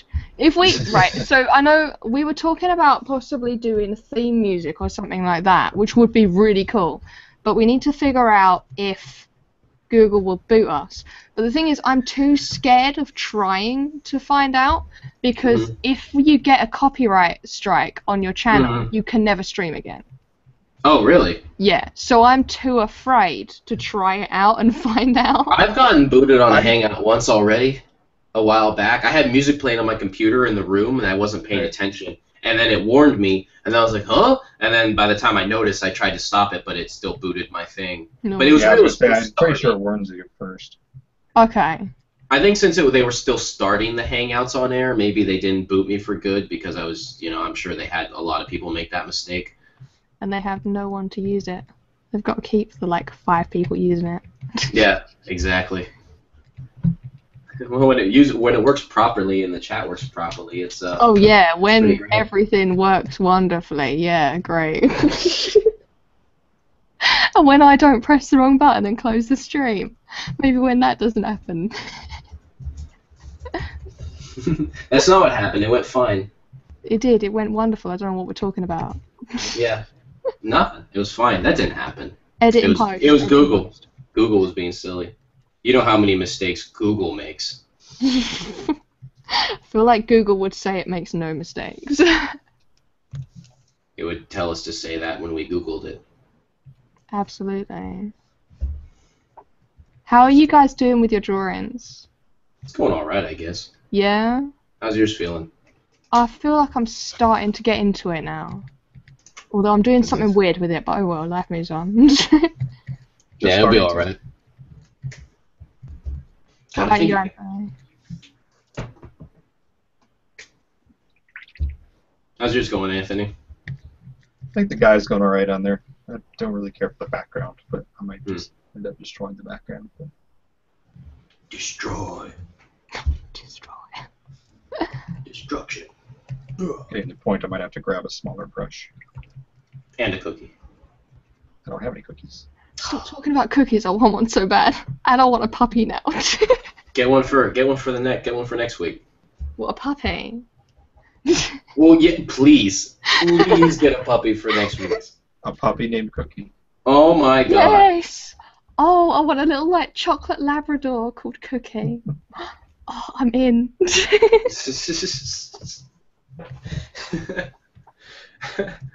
I don't Right now- right now. Family. right now, everybody in your home just went, "Oh God." I think all the cats just worried. Three cats just instantly just like, oh god, no. they all just woke up and then did that thing where they like sit up straight a little bit and look around. They're all sitting opposite actually, opposite me actually. They're all curled up, but they've all got their little ears poking out, listening to me. Kind of weird. It's weird living with more than one pet because it feels like you're always being watched. I believe that. I never had I never had a pet. Well, not like a cat or a dog. I had a hamster, but hamster w- didn't really watch me. I had Hamster its own 23 agenda. gerbils once. At once? Yeah. I didn't know there was a thing as a gerbil lady, but apparently you were a gerbil lady at some So- point. We got What happened? It's basic biology. Were you making a gerbil coat? Yes, it's the new 101 gerbil. I don't So- people would be sympathetic. Yeah. 101, you might get mittens out of them. But Oh yeah, yeah, no, no, they are vicious creatures. Now, we had two gerbils, and we were told that they were both girls, and they were not. We went on holiday, and we Mhm. came back, and um, on our way back, the lady who was looking after the pets, she rang us frantically, saying that there was some kind of weird infestation in the gerbil tank, and we freaked out, and we were like, "What does it look like?" And they said, "Well, there's a whole bunch of tiny little pink blobs in the tank.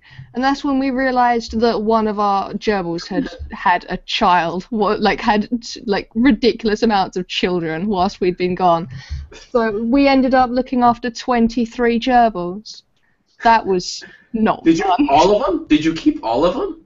I we didn't keep all of them. We like slowly, once they were old enough, we started slowly giving them to people who we trusted, um, and that like close friends who we could visit and check they were all okay and stuff, and help them with like finding tanks and stuff.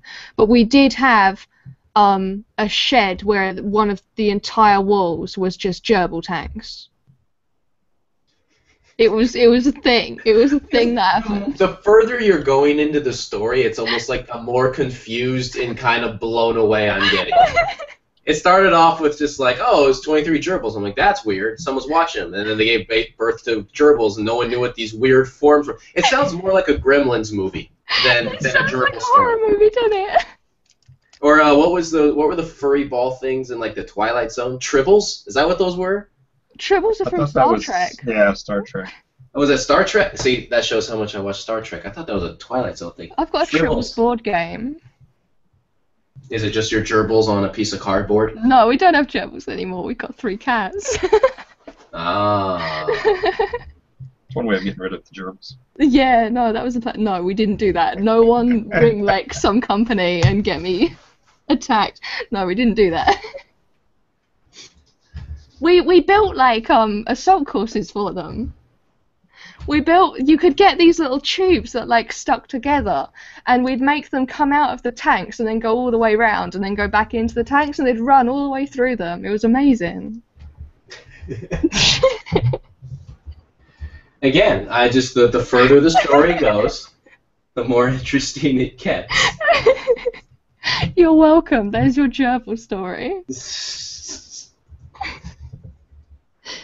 I had a friend who had gerbils, and she I think there was three of them, and she put like three little like kind of yogurty pellet things they would eat in the tank in the center, and then they'd each go take their own little pellet and then go to their own little individual corner and just kind of eat from there. Oh, And that's like, really "That's cute. so adorable and weird. Yeah, it's kind of weird, but it's kind of cute. 23. And I like how it's like it, it wasn't the immediate thought that was in the family was it's like, well, I guess we just uh I guess we start a gerbil farm. Well, the thing is, This is exactly how 101 Dalmatians ended too. You actually had a 101 Dalmatians thing happen to your family yeah, because they were going to have the Dalmatian plantation, and you had a gerbil. There's not a word that I'm rhymes. trying to find a word that rhymes. There a isn't one. gerbil farmable. Yes, there's a farmable. A gerbil farmable, Or you could have farmable gerbil. I think that makes sense. I suppose. Probably not.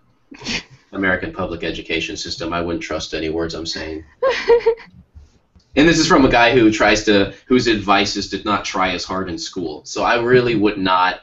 I take everything I say with a grain of salt. yeah. oh my god. I'm glad I told this, the gerbil story. I hope chat enjoyed the gerbil story. Oh my god. AFK has a chihuahua. That's kind of like a gerbil. It's very big in comparison to a gerbil. That's true. Mm. Gerbils are kind of like mean hamsters. Yeah, well, no.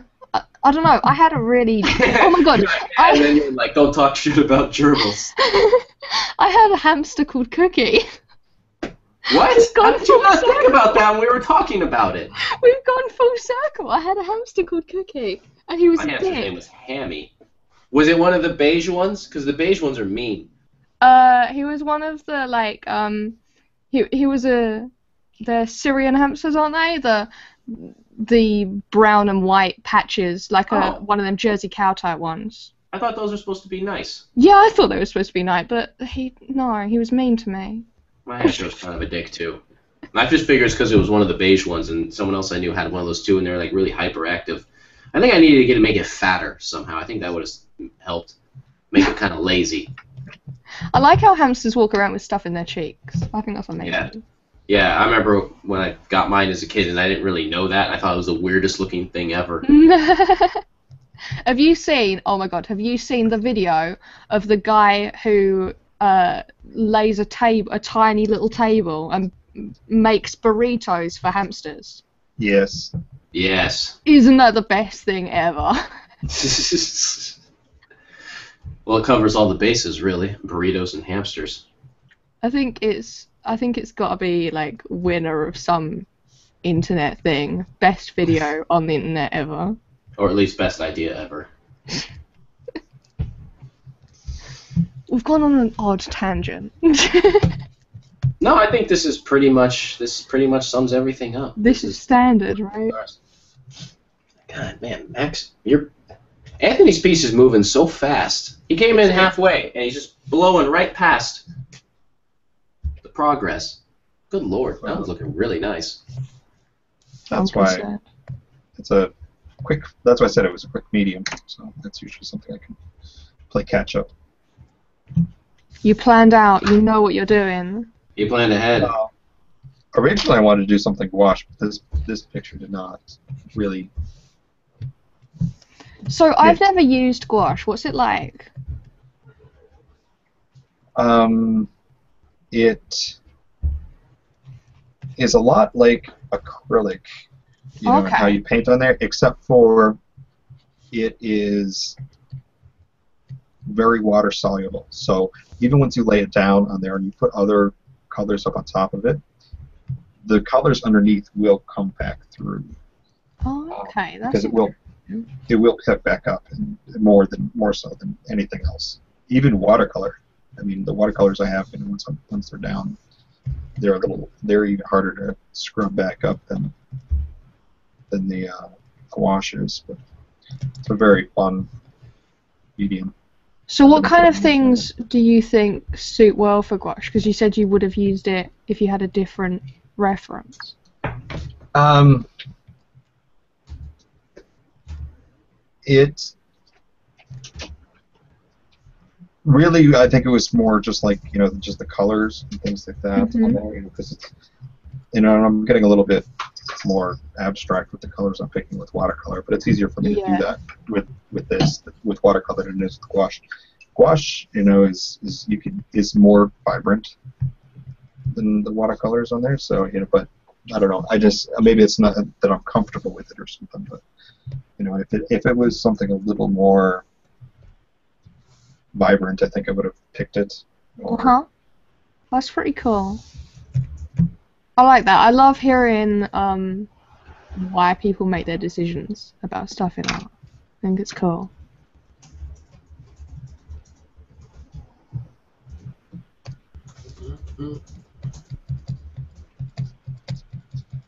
Going to draw beard hairs. Clearly the most important part.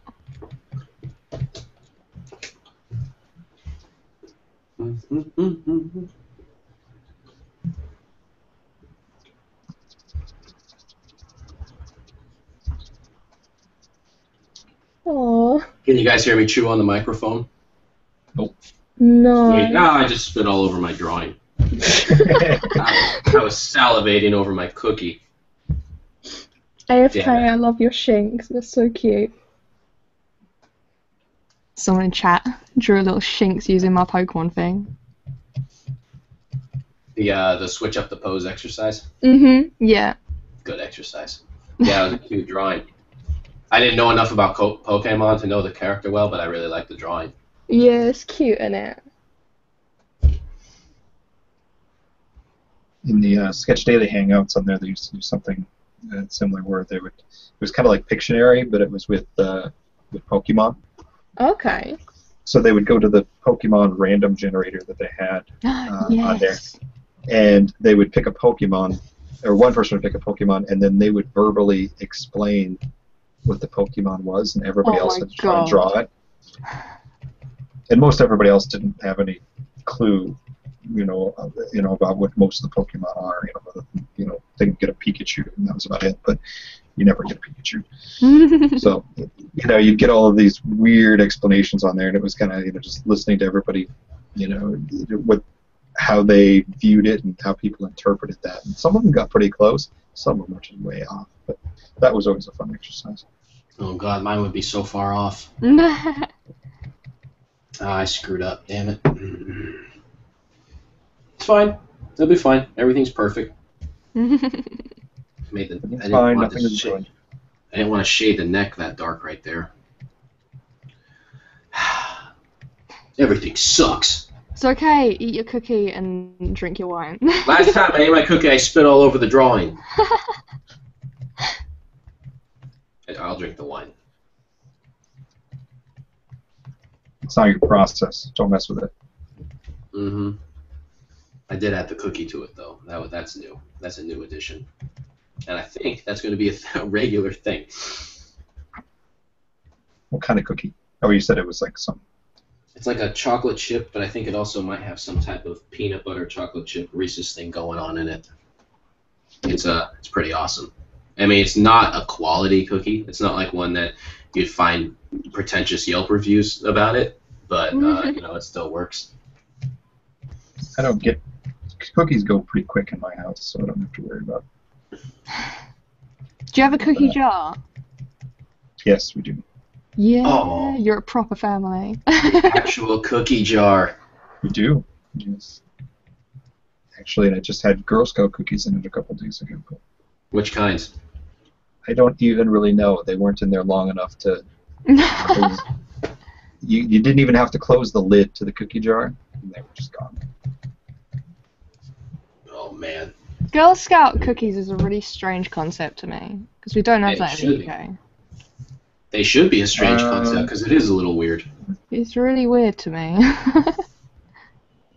but they're pretty awesome, and they make ice cream flavors of them too. what? Yeah. What? All Not cookies jealous. should have an ice uh, a, a ice cream counterpart. Yes. AFK Much says your drawing is giving him an Abe from the Walking Dead vibe. It's great. Yeah, I thought it was very um Walking Dead esque. Thank you, by the way. Um, that's why that's why I ended up changing the coloring because I was gonna do it super painterly, and then I looked at the lines that I'd done, and I thought it was really kind of old comic style ish. So I thought I'd kind of run with it, and you end up with a very Walking Dead style. So, yeah, yeah, I picked up on that too. Thank you.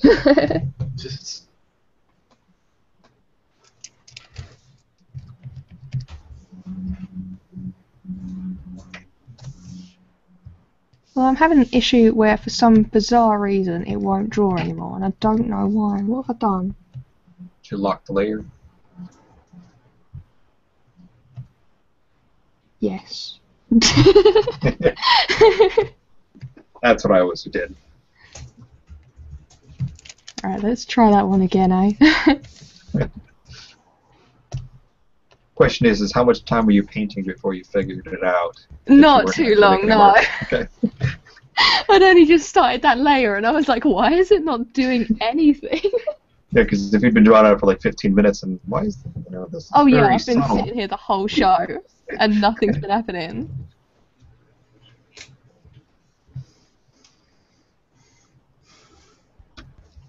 Got to turn that opacity up.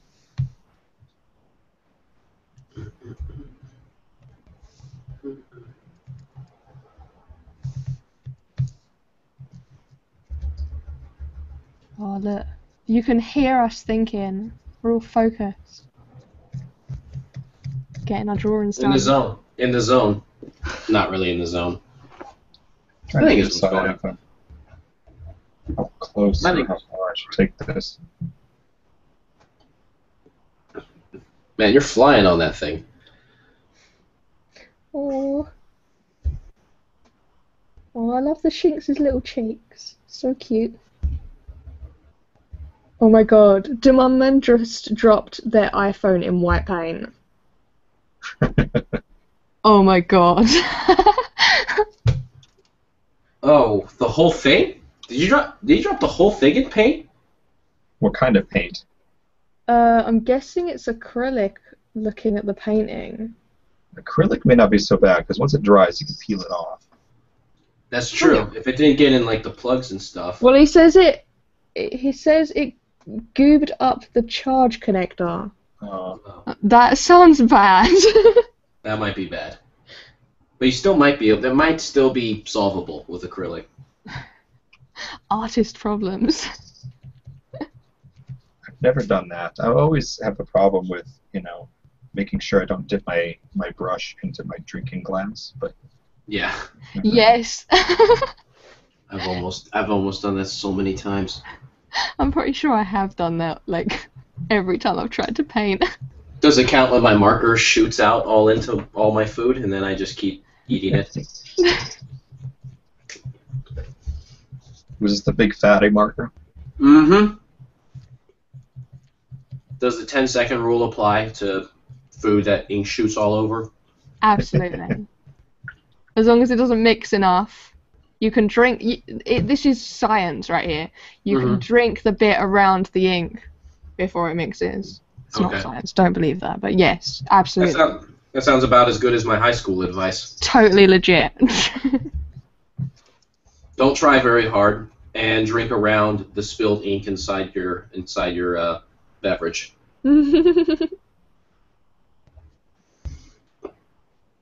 Problem solvers. Absolutely. I wish I could draw lines faster. Ink is such slow. I'm not checking the Reddit thing. Why am I not checking the Reddit thing? Oh god, I haven't checked that forever. Oh, it's fine. No one's commenting on there. It's fine. It's just us commenting on there because we're weird.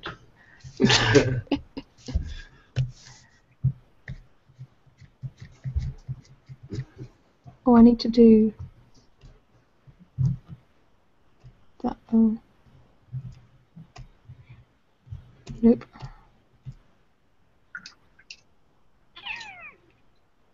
Okay. No, never mind. Ignore me.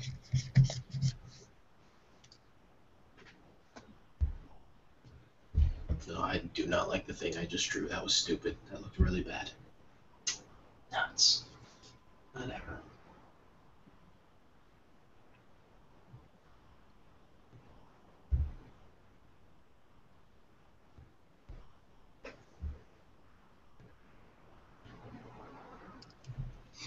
Okay. So, has anyone got any like arty things coming up? Any like events that you're going to or anything?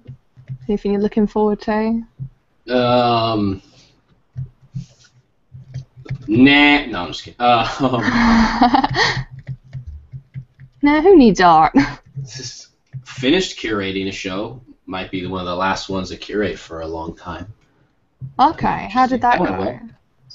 Uh, that went well. Uh, it was this uh, artist uh, that I know. She currently lives in L.A. named Molly Segal.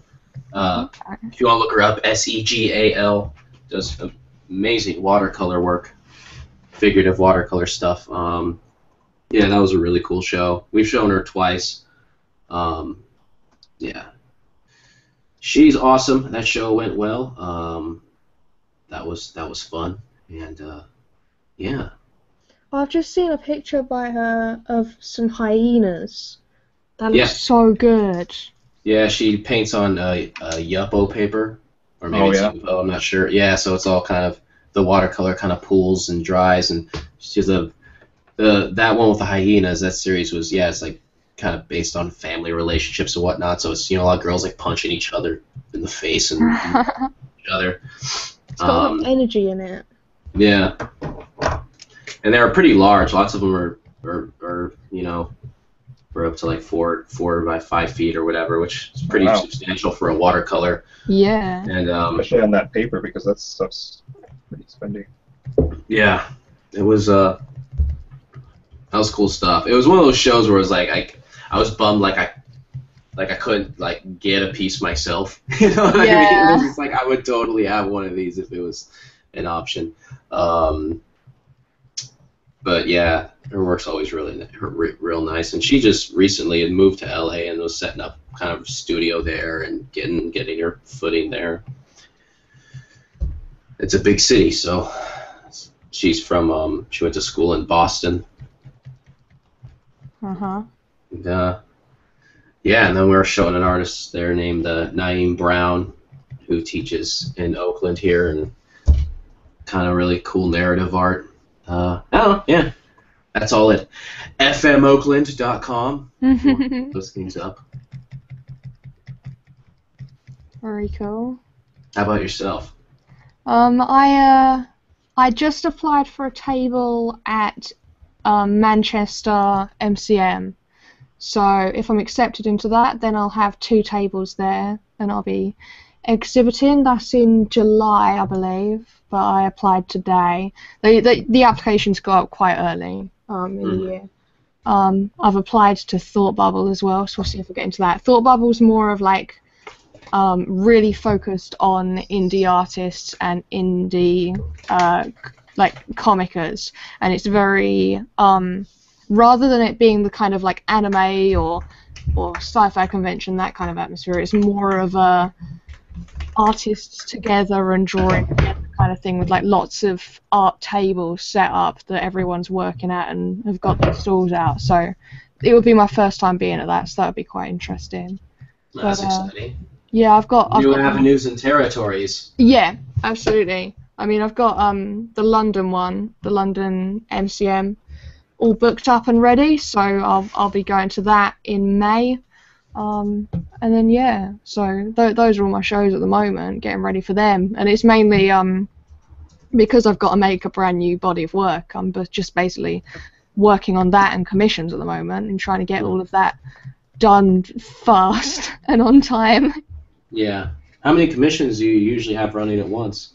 Um, I'm usually around the 20 commissions at a time mark. Oh my god. That's so many commissions. Uh, well, I go to conventions, so Oh. th- that's the big thing. The big thing with conventions is you make a certain amount of money at the show, but you also make a decent amount of money after the show from commissions. So I'll have like, for example, one of the commissions that people absolutely love at, at places like MCM is my Pokemon team that I do. So I'll say that I'll draw you and your six top Pokemon in whatever setting you want. You can design it in any way. You can change all the colors. You can like you can change it however you want and make this unique to your Pokemon experience, like how you imagine your Pokemon.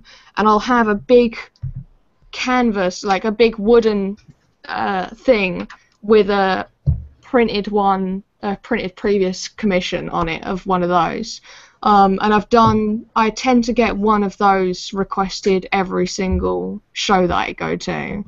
Um, and then it tends to be things like I'll be sitting there drawing someone live at the show, and then they'll say, "Oh, I'm working on a book and I'd love a cover," or "I'm working on a music album and I'd love album art and stuff like that." Mhm. So I tend to have between 10 and 20 of those going on at any one time, and then I'll put out a message saying that uh, they're that I'm reopened and stuff, or I, I get people to write down on a list so that they're in order, um, and then I'll send a, an email out and say. Um, I'm letting you guys know first that my commissions are open. That means they can get back to me straight away. But yeah, it, it's good fun. Good and organized there. I have to be really because I don't want to let anyone down. That's the thing. Mm. Like when I did my first show and I started drawing people live for the first time, I felt so bad because I turned so many people away, and they'd been Mhm. standing there watching me draw for a while, and it just made me feel awful. So now it it feels kind of pretentious to say I'm sorry you've got to book a slot or I'm sorry there's a waiting list you have to wait, but it stops me from saying yes yes I'll do that and then never being able to get around to it because Mm. there's too long of a line. So Yeah. it, it's nice to have like a block and say this is the block that I'm doing now, and then after that I'll reopen again, and then I can work on that block. And then I've got like a, a blackboard in my in my bedroom where I write up all the things that I've got, all the commissions that are going on, and then I cross them off. And then I've also got a um an Excel document with all of the data in it, Mhm. all of their contact info and everything in it, so that I can make sure that I don't miss anyone. And yeah, it's all about ma- making sure I don't let anyone down, really. Yeah. but I mean, it's like it's like that that kind of the little pressure you put on yourself to let people down. It's funny because that's all like really good strategies and organization to just kind of keep a constant, steady stream of business and income. Yeah, I mean, uh, the thing that I see with a lot of artists, fellow artists, who are like good friends of mine, who I see at conventions, is that they just don't, because they don't live off of it, they don't act in a way that would um, make it a full time job because they've got a job already and they want it to be a full time job, but Yeah. they don't act with the same, I guess, conviction or something. I, I don't know what the correct word for it is, but you have to have this level of organization to be able to do it full time. Otherwise, Exactly. you won't cope. Like you, you literally, you just won't cope. So. I find that a lot of artists will say, "Oh, you're too businesslike" or something. It's like I have to be that businesslike. No, you're doing it the way you're supposed to do. it. Exactly. Otherwise, like they say that's not very arty or whatever, but I have to be like this if I want this to be my career. There's Yeah. no other way around it. It has to be treated like a business that needs to make money. And obviously, it still has that heart element in it because I absolutely love it to pieces. But it, if you want it to be a full time job, you have to treat it like you're running a business that's going to be your full time job. hmm Yeah. That's really important thing. A lot of people don't catch. I mean, that's like Yeah. I, I kind of had a moment like a while back when I was became clear I was gonna be I was gonna be getting laid off from my work. So I just started reaching out more for commissions, and I was finding them. And it was in that experience, as though I did not find enough to live off of it at this moment.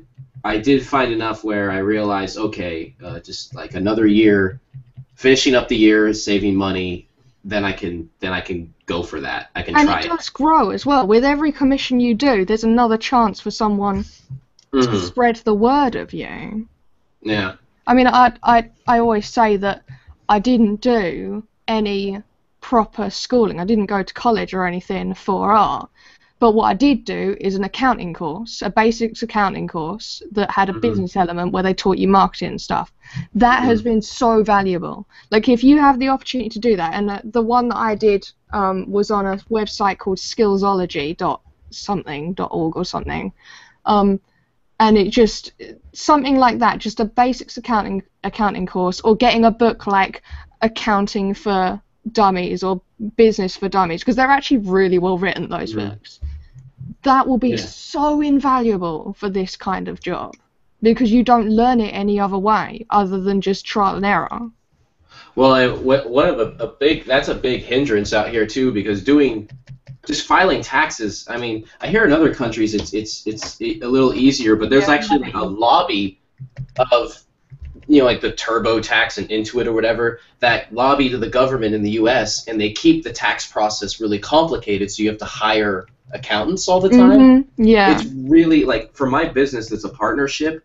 It's in, it's really complicated. I could Yeah. not do it myself. It's too much work. It takes too much knowledge about it, and so I end up working doing a bunch of bookkeeping and then going over it with fortunately with my dad who's an accountant and then we send that off to someone else who can file a partnership return so that we can get it back and then he can help do the return because of all the expenses it's just this it's an insanely Yeah. long complicated process and Yeah. it's been such a massive hindrance um, it, i think it, i honestly think it's one of the major things it's not it's not the thing is is it's not paying taxes that's slowing down small business. It's just how complicated and time consuming it is to figure out how to pay taxes out yeah. here.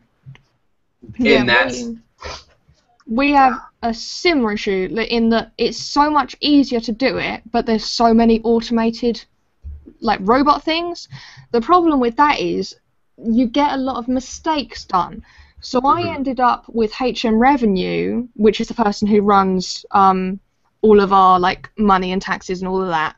I Mhm. had them chasing me down, claiming that I owed them all of this money Mhm. and I absolutely didn't owe them that money. They had documents saying that I owed them money from dates when my business didn't even exist. I was like, this makes no sense. I don't owe you this money. And the thing is, the human people, they're brilliant. You call them Yeah. up and you say, right, I need your advice because this is happening and I don't know what to do. And they and they were just like, look, you're absolutely right. You do not owe this money. I don't know why you're being told that you do owe this money. It's ridiculous and we'll do everything we can to help you.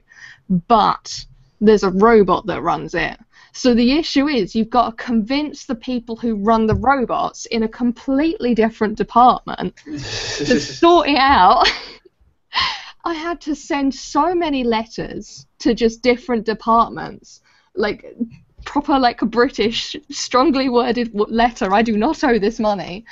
Uh, until the point where all of a sudden I get a letter saying we've reviewed your so and so and discovered you haven't. And then last month, I, well this month, I got a uh, I got a letter saying the exact people I'd had to complain to all that time are Mhm. basically getting dissolved, that little robot section, and it's combining with something else, which means that my whole thing has to get re applied and they have to prove that I don't owe that money all over again. And it's like, Wow. ah. So if everything goes right and smoothly, we have probably one of the best uh, the best situations that I'm aware of. Certainly better than than America. Yeah. But if something goes wrong, it is so hard to get it fixed. I can- I can see getting through that.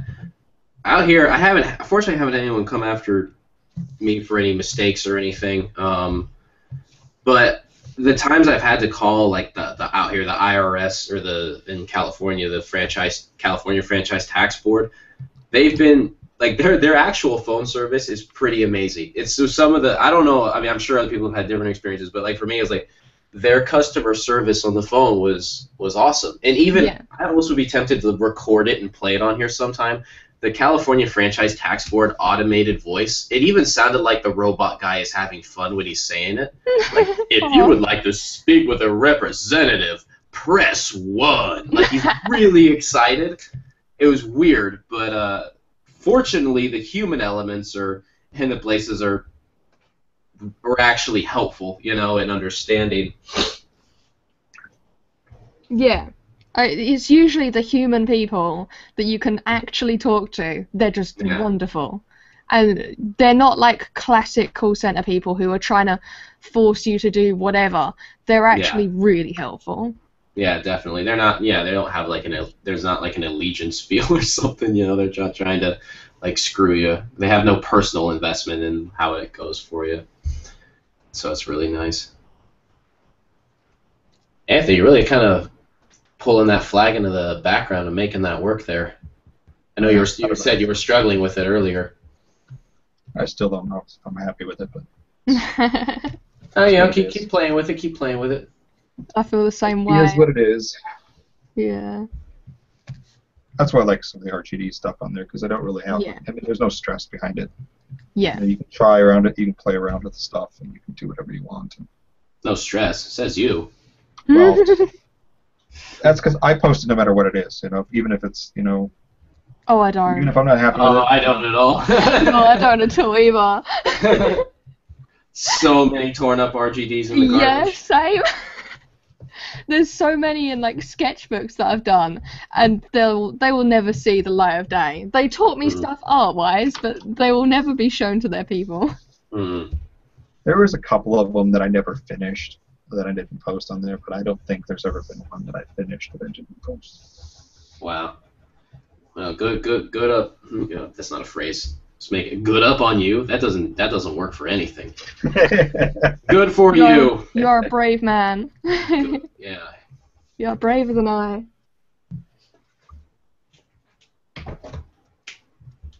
Should be using this more. I think I've got too many soft tones in this. I think I need to get more like texture in. That's something that I I struggle with. Trying to find oh my god, look at that. Look at the beard. I've got all of the beard and hair and like one eyebrow and one layer and it looks glorious. um uh, yeah, no, I, I struggle with trying to combine soft texture and then hard texture. I Mm. I usually end up going too far one or the other way. Yeah. Do you guys ever have that issue, or do you not find that you have that issue because you work with traditional media?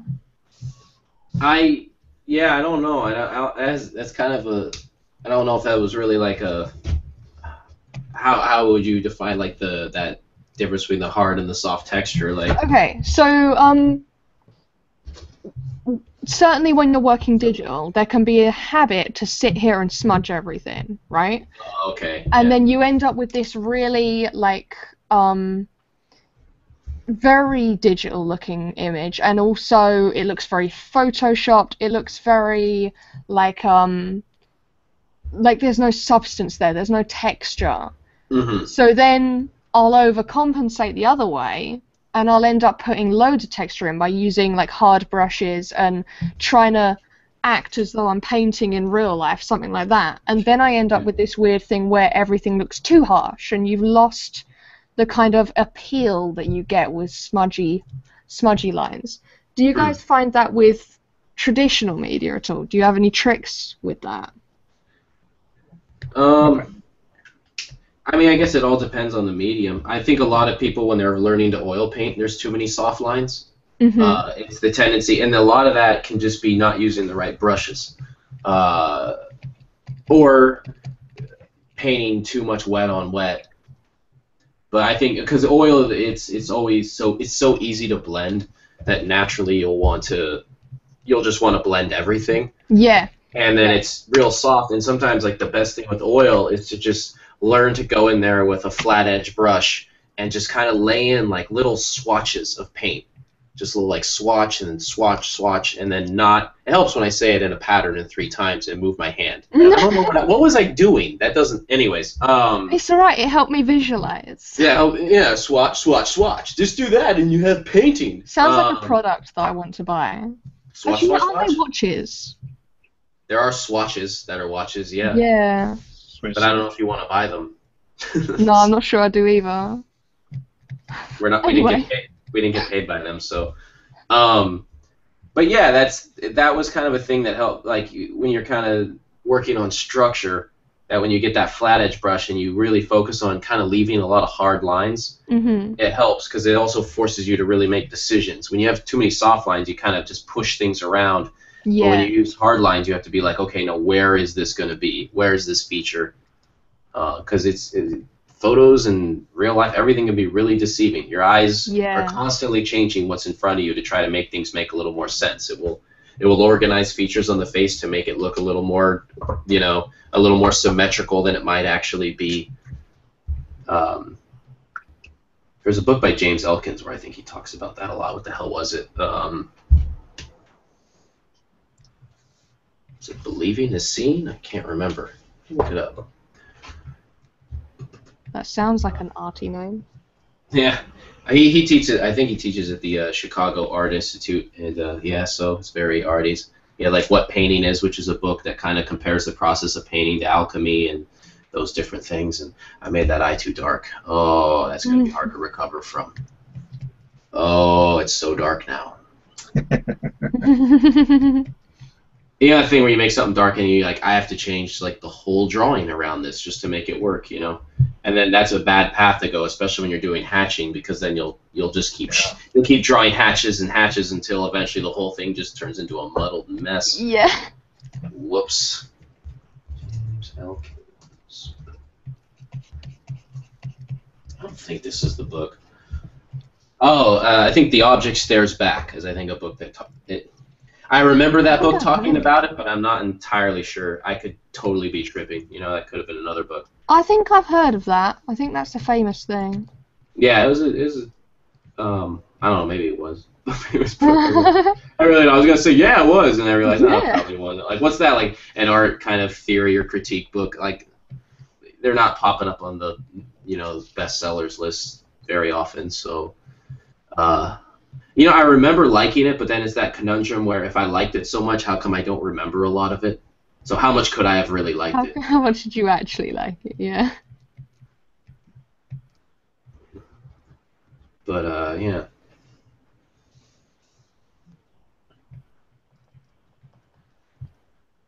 He has another book called uh, How to Use Your Eyes. And then, oh, and the you read tradition of John Berger's Ways of Seeing. Maybe that's the book I was confused with. He writes good books too. Who's that? I think it's I don't know what's pronounced. I think it's John Berger. I don't know if it's Berger or Berger. Probably Berger. B. E R G E R. Burger is probably just me being hungry. Burger. Burger. In all fairness, Berger isn't that much better. You can tell it's late when I'm just like giggling at the word burger. Burger is a pretty hilarious word, and it's way too close to booger, but it's still fantastic. Burger. what are we doing? Burgers. Drawing a beard. Drawing a beard right now. That's what I'm doing. Okay, so if you guys are, yeah, I enjoyed drawing the beard actually. So if you guys are sitting down, you decide to sit down with a uh, your pad. Mhm. What is the first thing you probably draw? Wieners. No. Um. I don't know. I don't. I don't just ever. I never really just draw anymore. I don't just pick out a paper and then just make something up out of my head and draw. It's, there's usually like some project or thing that I'm in the middle of that I want to work on, Yeah. or or I want to do you know uh, like an RGD or a uh, or draw like I've just been drawing a lot of portraits lately. And maybe draw like a portrait of a friend or something. I find How it about you? really, really hard to draw people I know. It's way harder. It's way harder because you see the mistakes immediately. Yes. Yeah. and you know they'll know. You'll be like, they'll, you'll be like, oh, they look at it, and they'll, they'll know, they'll know that doesn't look like them. They always say it looks amazing, but still, like I- I'll They're just being nice. Yeah, I I find that um I can usually draw a person using like you know when you meet someone for the first time, you kind of like look at them in a more objective way. Yeah. I have to have that to be able to draw someone. So if I draw someone who I know, who I've seen their face over and over again, I find it really hard to move back into that objective like vision, I guess. Oh, I, I can't even really do it. It's a nightmare. I remember one time I, I wanted to draw a portrait of my brother. Like he was commissioning me to draw a portrait of him for like a gift thing, and I had to draw it. I think it was 13 times. until I finally and I, at one point like around the eighth time I literally tried just doing a tracing like because it was kind of a blurry photograph that's why I learned the blurry photograph thing again and I did that thing where I traced it in a pencil like heavy and then rubbed it on another sheet of paper and it still looked wrong it, and then I realized eventually it was kind of like a weird photo but even when I got a new photo it still was just a total nightmare it was the it might have been the least fun I've ever had making a drawing and it's but it just depends i think it's like sometimes like you're inspired and you can make drawings and then yeah.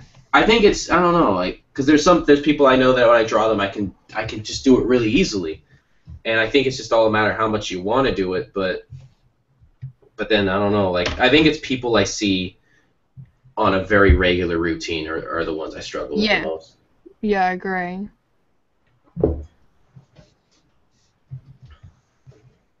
What about you, Anthony? Do you find the same thing?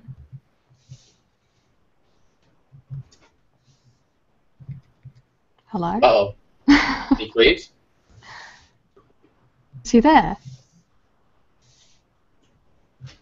I think his hand's frozen. Oh no. Wait, We might have lost him. He'll be back. let me have a look. Hello, you can see my face now. Okay, let me move that down a bit. Uh, where is he? Oh no, he's dropped from the call. Oh no, He's gone. he's gone. Oh, I can see your drawing now. I'm gonna look at Oh, you haven't looked at yet? Yeah, well, I mean, I saw it in the pencil stage, but I haven't seen it since then because I just jumped out to sort out stuffs. I'm going to send him the link again in case he's lost it. Mm-hmm. Oh no, his computer's frozen. He's got to re- reboot his computer. Oh No, I think that was when it happened earlier. I think it happened again. Really? Oh my god. He'll Oh be dear. back. I like yours. I'm just looking at yours. Thanks. I like uh yeah, I like all the little hash lines.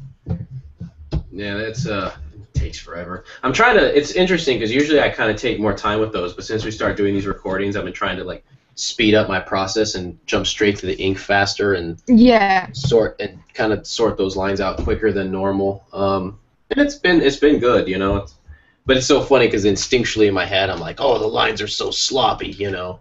But I know that's just me being. Oh no, being it looks great here. Well, that's because you're just far away from it. What I like can see it up close. oh, yeah, across the planet. Across, across the planet. If it was Oh, eight hours earlier, huh? we've t- we've taken really different routes to the picture, I think. They're going to look hmm. really different. Yeah, I think so. I think it's all, and I think it was just different choices made to handle the, uh, just the kind of dealing with the quality of the photo and just whatever the parameters were that we kind of had to roll with. Ah, he's ba- Anthony's back. Yeah. Can you hear us, Anthony? Yeah, I can. Oh, I just saw your tag pop up. I love it. Oh, yours Oh. is cool too. I haven't seen any of yours until the stream started. Like, I just jumped back to not streaming my screen so I can look at everyone's artwork. Oh, okay. Yeah, mine. I don't know. Apparently, I'm having overheating issues with my computer, so Oh no. should be good for another hour. Okay. I like um, I like how piercing you've got the eyes. Mhm. Using that blue right next to the pale colours, it's really, really strong. I like that. Thanks. Okay, I'll go back to Yeah, I'm not- sharing. Terribly happy with the background on there, but the portrait portion of it on there. I think is alright. Didn't have a chance to say uh to say goodnight to uh, AFK much. Yeah, I just saw that he he vanished. But uh, it's a good question. Uh, July with dashes asks uh, if if my roommate is currently secretly working on the drawing as well. I'm a little curious myself. not sure. See if he pops up. I hope so. I hope so. Why doesn't he post it? He he just he that's he just doesn't. he's he just- rubbish. He likes You just, no, he just he, he just wants to be in the background. That's just like his his thing. He doesn't he, lur- he he's a lurker, and he just uh that's just his jam, I guess. I try to get him to post stuff so much. I've been trying to get him to get an account and post the art because it's all really good, but not his jam, I suppose. That's fair enough, though, isn't it? No, it isn't. I'll get him. it? Oh, but the people that post it on there deserve to see awesome stuff that people make. That's a good route. I'm gonna try to. I'm gonna try Yes, to make him use feel that guilty angle. with that route. Guilt him into it. Yeah, you have a duty to make sure that they see the art. To which he can Don't say, laugh. "Nah." and then that'll be it. To which he says, he said duty. And then yeah, exactly. Then I'm busted because then I'll start laughing too. I'll be like, oh my god, I almost missed it. God damn it.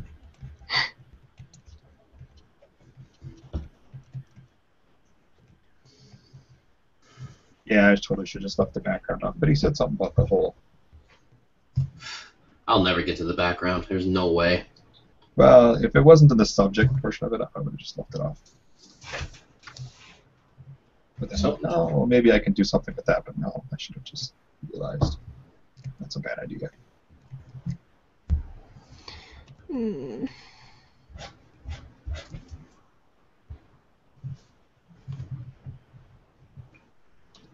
You know That's right. what? Command Z is the best thing. Undo, undo, undo, undo. Well, the one saving I would grace kill for that. that I have is that when my computer froze up on there, I didn't lose any of my work. Mm-hmm. true. Absolutely true.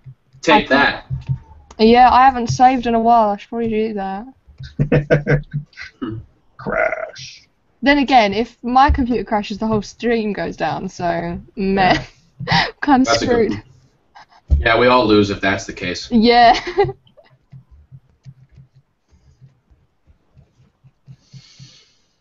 I think this kind of looks like him. Yeah, that's about where I'm at too. I feel like you guys have gotten it closer than I have, and I'm trying to. I've got I've gone into like little competitive mode now. I want to like try and fight my way back. What role would you like us to play? Would you like us to be very bullying and intense, or uh, or a go team go spirit?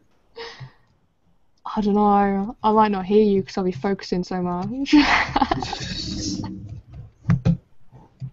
See, this is right here would be fun to see the faces as everyone hunkers down and gets into serious mode. Maybe we need face cams as well, like just in the corners. Actually, mine does. I can do that with my. You can do You a can face cam. Yeah, I can add other cameras. See, I wish I could. I thought about doing that with mine, like trying to plug it into my other laptop and then doing it, but then I'd have to I just join it twice, I guess. oh god, I don't even know how to do that. I have no Con- idea. Considering the fact that we crashed this once with a chat already and enjoyed it, I didn't Yeah, I want to don't- like, try it in the randomly, you know. That's for more experimentation later. I was happy enough that I got this thing to just stay focused on the with without auto focusing. Yeah. Yeah, that's a massive help. There. Anthony, do you draw on a flat table? No. You just have your you have your camera set up in a way where you can capture it parallel or with the angle properly.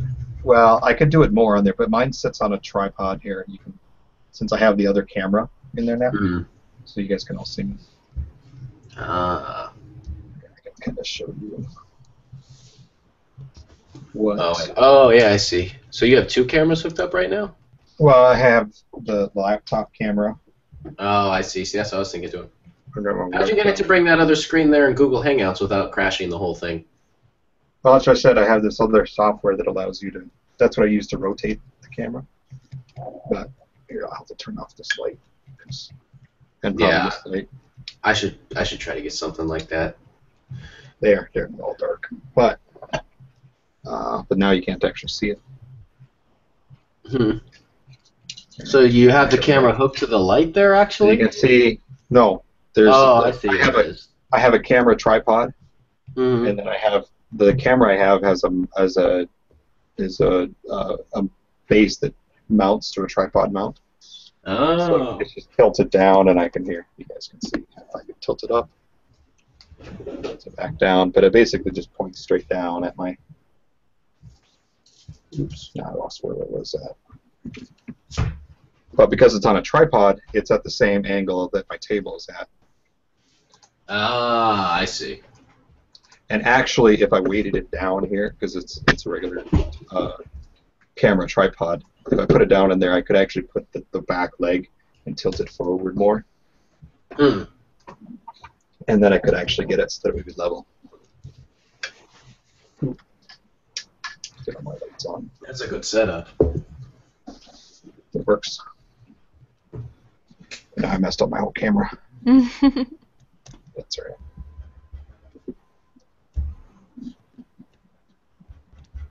Sarah's in the zone now. We should distract her. Because I do have a little bit of that keystoning, you know, that comes in. You know, the, the bottom is, is definitely shorter than the top. Hmm. And I would like to fix that on there, and that's how I'd fix that is by.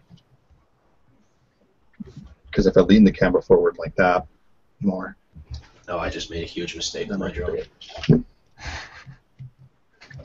oh no. Oh God. Ugh. Ugh. Yuck. Yuck. You're right there. I really don't like how that looks. But this webcam software actually is pretty good. I'm just using the free version, so that's why it's the little ManyCam.com thing in the corner that I'm thinking about. How much is the actual What's the name version? of it? Fifty dollars. Ooh. That's how they get you. Well, that's not that bad. I mean, That's not actually that bad, no. Whatever. That's how they get you. Don't even care. I said that's how they get you. What's it called? ManyCam, ManyCam, okay. but I don't know if it's available for Mac. Oh, right, yeah, good point. Nothing's ever available for Mac. But there should be something. Something out in the ether. What the hell was that noise? Did anyone else hear that? I did. It sounded like a duck. That's what I was thinking. I was thinking someone's got a duck. Do you have a duck? You're the one with 26 gerbils or whatever. no, I don't have a duck. You might have a duck and not know it yet. Uh, Did you get a phone call saying that there there are little There ducks running around? That you, there's a duck ducks? infestation? I have a shirt that says I'm a baby duck on it though. Is there anything else on the shirt, or is that just is that all it just says? Uh, there's a little picture of a baby duck, and it says, "Oh, I can't remember what it says." It says something like, um, "I'm a baby duck," uh, and uh, it says some kind of insult at people. I, I can't remember, but I got it from a, Go, a guy. go quack yourself. Excuse me. Does it say go quack yourself? no. Oh. uh, wait, I'm gonna see if I can find it. I. Oh, I'm a baby duck, and you are nothing. That's what it says. Oh, good lord, that's intense. That goes right for the heart, doesn't it? It's got an adorable little baby duck on it. That's like it might as well. It's like I'm a baby duck, and your son won't call you. It's like, oh my god. Wow. You know? Oh my god, right? So earlier this week on Reddit, I was I, I told someone the uh, the the enterprise story, the fact that I one of my first words was enterprise, Mhm. and um and I said that, but I haven't become a starship captain yet. Um, so I, I'm a bit disappointed. And someone replied, "So's your father, right?" And I just went, wow. And then they immediately apologized and said, this is what happens when a Canadian tries to troll. And they were just like, I'm so sorry. Like, I absolutely didn't mean it. I'm like, oh. That's like they said they go for it. They like they're trolling like they like they're hockey intense, you know. yeah, It's but they uh, have to apologize immediately. I'm so sorry. yeah, they turn right to the apology too. The Canadian in them comes out. If it was America, we would just blame it on you. We'd just be like, "Well, you set me up. That's on you. It's on you. I'm fine. I didn't do anything wrong. I didn't do nothing. I didn't do nothing. It's fine. Get over it. Jeez, relax. It's a joke. I hate those lines, but I think I don't have to tear this into a million pieces yet. I'm gonna keep going with it. You haven't reached the appropriate level of hate for it. Yeah, no, I'm not quite there. The disdain isn't to the level of your liking. You'd probably see my hand shaking if I was getting to that level. I would, I would be getting pretty, pretty annoyed by the drawing. So have you guys ever injured yourself drawing? Um, Like punching a wall or something? Or do you mean like drawing so much I get arthritis or something like yeah, like an injury caused by drawing. I mean, I've stabbed myself, but um. I've made myself sick What enough. I mean? had. How did you stab yourself? How did you stab yourself? You have to elaborate on that. I used to do a lot of scratchboard, and we, and the, the teacher I had taught us how to use an exacto knife. Oh, there you go. Well, So, there's and a I've- problem. Yeah, and I've I've reached for it, and actually I still have it in my pen holder now, and every now and then I reach over for it and catch the tip. oh my god! Why don't you take it out of the pen holder? Then it would ruin the blade. You, Why did you you have the not power. do that? You're in control. You can do this. You can make. You can make the change. Oh, it's it is sitting right here, and I'm talking about it. Yeah, I was looking for it in the pen holder. Yeah, there's my exacto knife. I don't even know why it's there. It's in the pen holder where I can stab myself. Can't Oh, we're stab myself another when it's sitting on the desk. story. Yes, we get to get the, the stabbing on. So, hmm. but no, beyond that, I don't think I've ever ever injured myself. What about you, Mike? I've been in things where like I remember I had a deadline for a group show and I was drawing this this ballpoint pen piece that was very tedious.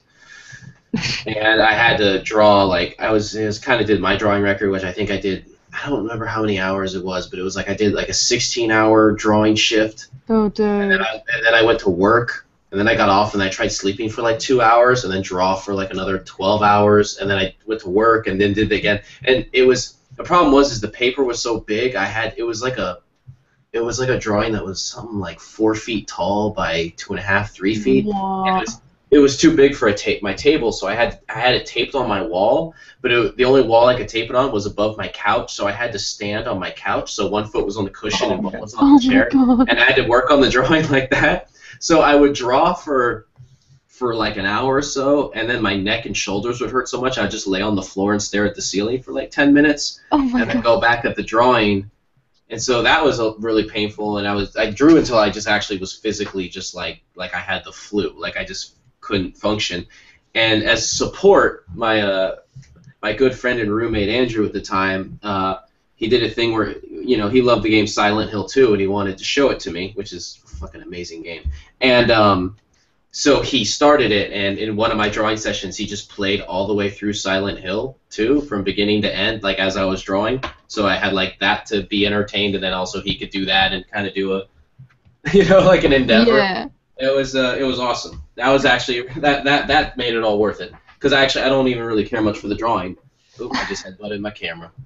But that made it all worth it, I think, in the end there. And uh, yeah. but and then I ha- I've had that happen before. I did this collage where um, it was for another group show, and it was out here in California. There's like the Spanish missions when the settlers were, whatever, when the settlers were exploiting people. That's like how America's founded, and um, Okay. so the uh, find indigenous people and exploit them, and so in school they always had a project when you were in fifth grade where you would build, rebuild one of like the Spanish missions with you know sugar cubes or clay or whatever, Oh. and so someone did in someone did an art show which was like build a Spanish mission, and um, that but like as like, with artists, you know, like grown up Proper artists. eyes, yeah. Yeah, and that was the and that was a fun idea. And a friend asked if I wanted to be in the show, and I wasn't really thinking much about it. And she's like, "Which Spanish mission would you do?" And I just requested to give me the one with the most party. So they gave me the mission of Santa Barbara because that was like a party town and party school. And I'm like, okay. And so I thought what I would do is I'd make this triptych of the uh, of the it like so it's like a triptych mantle piece, and in the center it's of the Virgin Mary, and then the I had the uh, Greek cross for frats, and then the Spanish cross on the other side, and then it would have like these little kind of prayer candles in the middle, and I would sp- I sprayed it with Acqua di Gio uh, cologne, so it smelled like a frat at the Oh time my god. and then it uh and the thing was though is all the the Virgin Mother was made by collaging a bunch of photos of drunk college kids partying, and I like set a rule for myself that it had to be I couldn't just put the photo anyway or manipulate the photographs. I just had to find the photos on at the time MySpace. So let's date this era oh wow! but it was on MySpace, and um, I think it was my maybe even Facebook a little bit, but but uh, I had to then cut out all these photos, and this thing was big. It was like three by five. It was about well, it was about four feet tall, and maybe five feet across. It's on my website. Let me just load it here. I can do a sc- let me I can do a screen share of this. It's kind of hard to describe without. Um, Give me one quick second. Oh, you're got doing a some- terrific job of describing it. And then yeah, and the rule was is I, I couldn't turn the photographs upside down or anything. Right. Uh, so it had to they had to kind of be in their original format. Let me see if I can find a I've seen the picture already. uh,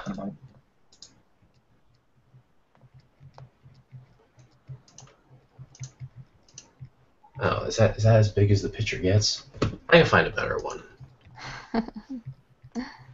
it's just weird to describe because the the effect of it when it works effectively was that you would it, up close you would look at it and you would just see a bunch of partying people, but then when you walked away from it, like ten feet away, Right. then you could see the Virgin Mother Yeah. it. Um, so I can find this. Sorry, give me a minute. That's right. There we go. Um,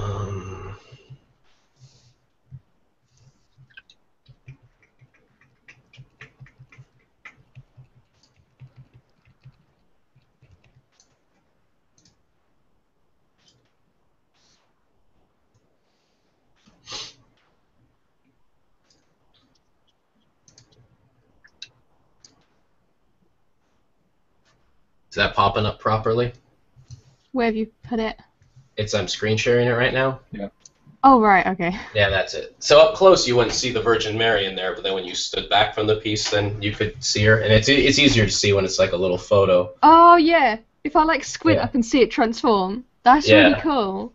So that was a, it was an absolute nightmare to make that thing. Cause I had to build all the panels from scratch, and uh, so like for her example, like uh, her left, our right eye is just like a drunk girl's profile, and her hair is making that shape. So it was all just like looking through all these photos and then cutting them out and then trying to like line them up to like okay that makes the line and that makes the shadow. I didn't use any like software or anything. So yeah. it just took it took so many hours, and I was working on it in my studio. So I would just and then what made it worse is I had to squint to see if it was working. So I would just work on it for like two hours, and then my vision, my eyes would start crossing oh, like- God. without me trying, and they would start going blurry. So then I had a chair in my studio, and I'd just go sit back in the chair and like try to sleep for like 20 minutes Oh and then go back to it. And I just did that for until the show. Um, and then now it's just sitting in my closet. I've, I don't have I, there's nothing I don't have anything I can do with this thing. It like closes and then it it, it uh and it has like a uh, phi delta uh, cross you know on the front of it like. But there's no I don't have anything I can do with it. So now this thing just sits in my closet closed up all the time. And I spent all that time on it. That's when you know I'm proud of it though. I'm proud of it. it's really cool. Whatever.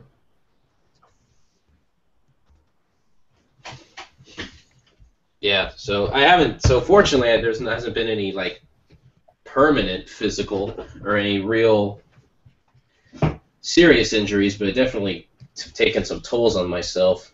Yeah. How about you? You you drew for what? 26 hours straight one time?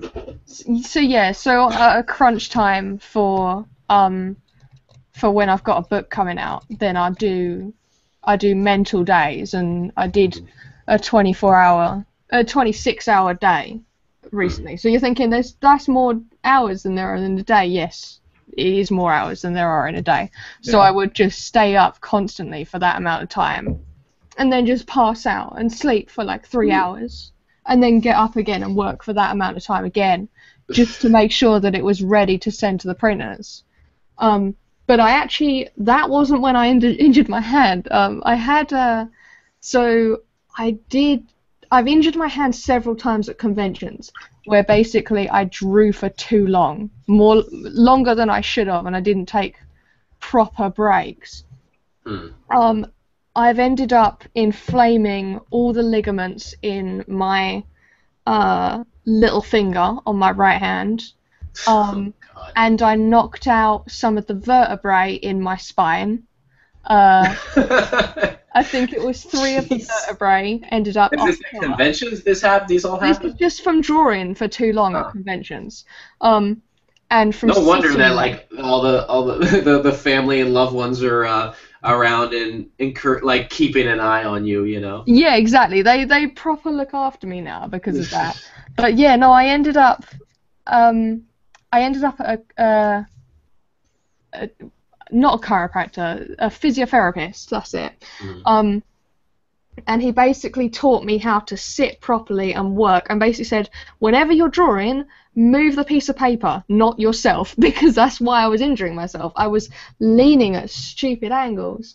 Was Um, it traditional or was it? Yeah, traditional. Um, so I was drawing with pens and markers and pencils.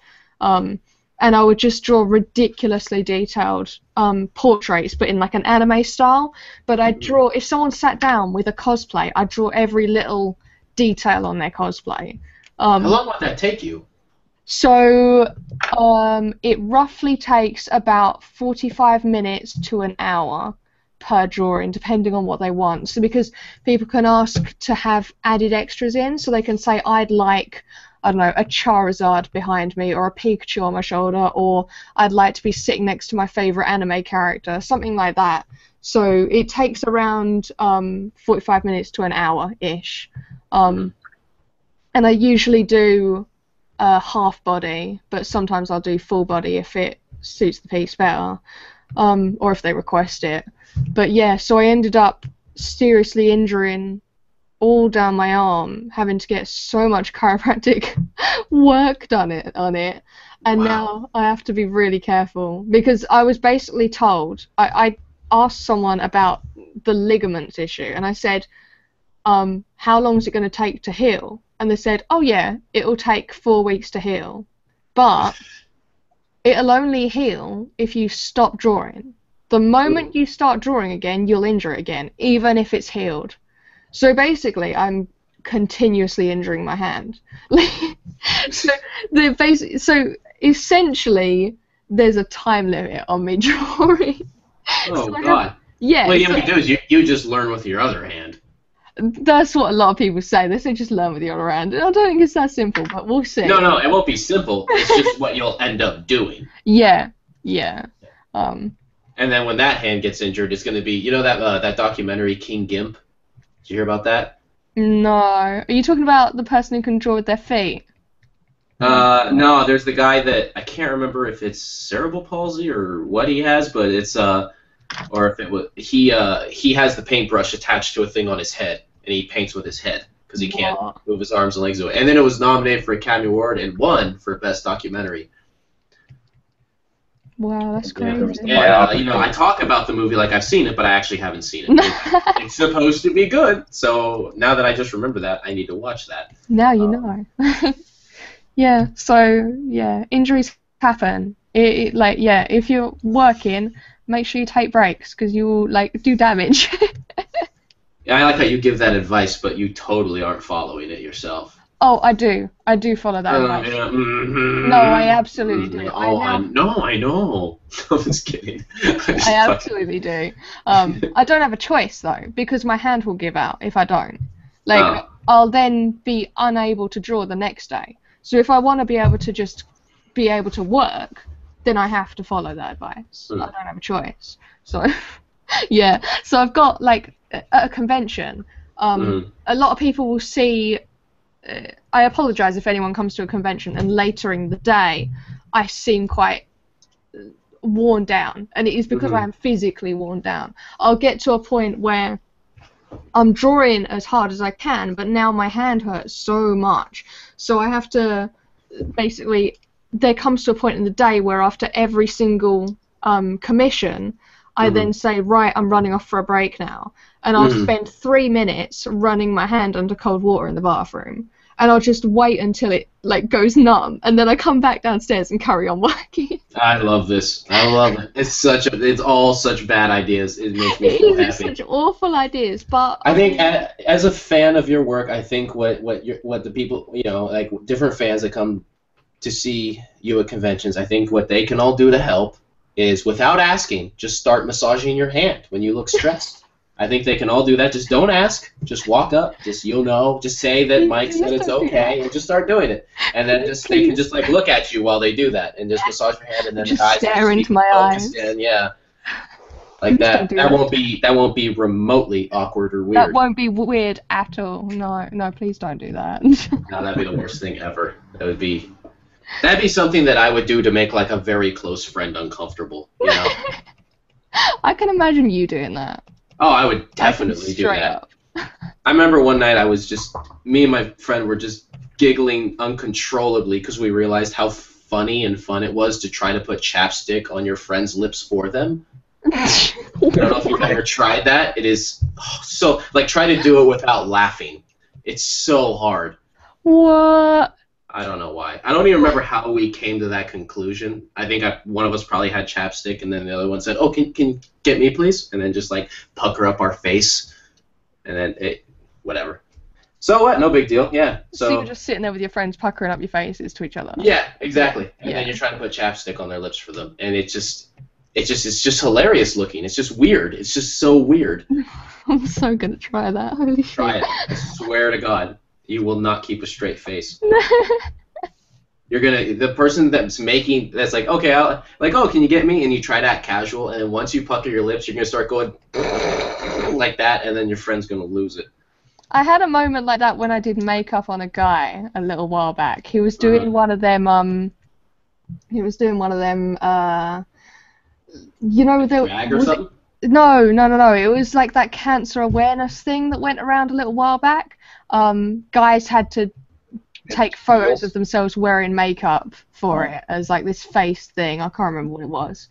Um, but yeah, he asked me to do makeup on him, and just the whole time we were just laughing, just continuously. Not because he like looked bad in it or anything, just because it was just so weird to be putting makeup on a mate who just literally does not wear it. I mean, you know it is. Is there a moment he realized he's like he's probably you, you finish and then he just goes I look fierce. He said he uh, looked like one of his ex-girlfriends, which I found hilarious. Oh, that would be really rough.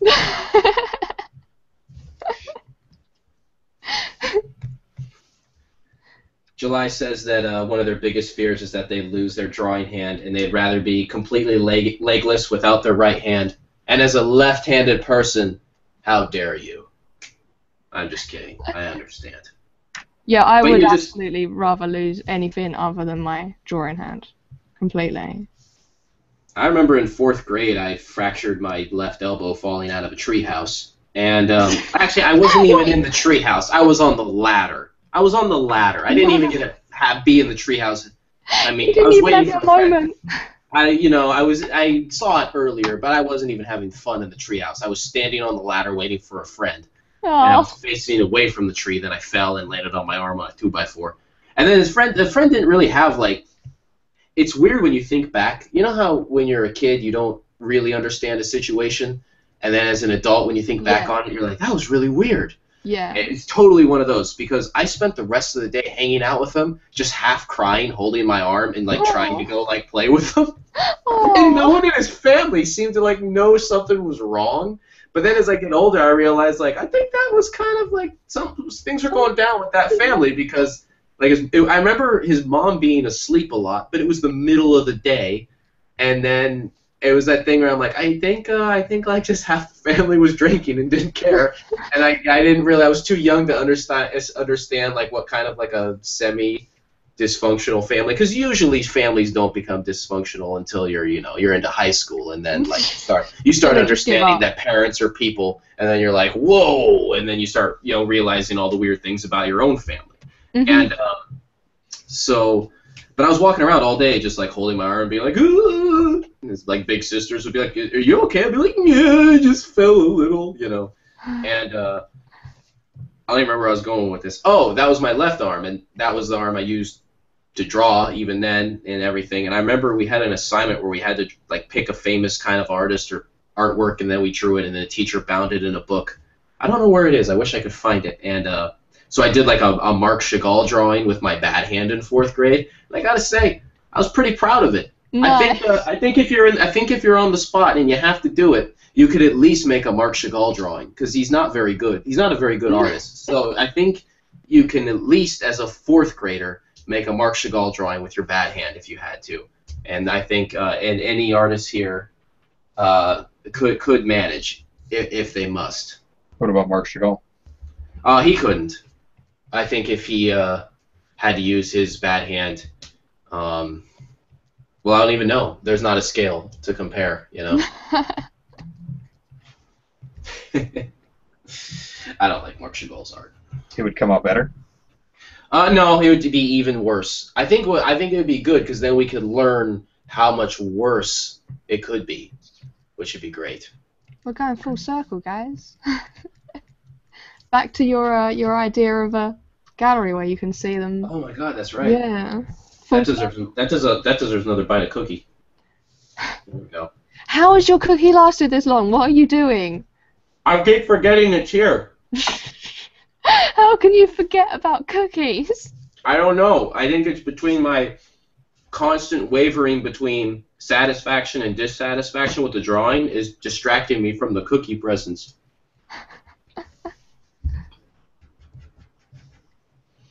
I think I'm finally getting somewhere where I feel happy about this drawing now.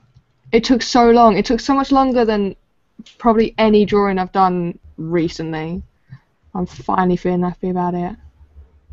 Yeah, this this one's been this one's been a battle. Yeah, I don't know why. Like all of us have had that issue, really. Like something in it's been like, mm, what the hell? Kind of look. I want to look at everyone's. I haven't even had a chance to step back and look at everyone's pieces yet. Oh yeah, there it is. Oh yeah. You know that thing when you look at everyone else's and, and you're like, oh, there's more than yours. Yeah, I had that a minute ago. When I when I jumped around and jumped through your guys' stuff, I was just like, oh no, this is really good. That's exactly how I just looked at everyone's and I was kind of like, uh oh, all right, no, okay, no, it's all right, Mike. You should still make art. it's fine. That's I, it's still I good. think you're that's on. pretty. No matter what. Yeah. Absolutely. I love that. Like, there's there's the good and the bad version. There's the feelings you go to an art show and it, like it's so good, you just feel horrendous. You're just like, oh my god, that was so good. What am I gonna do?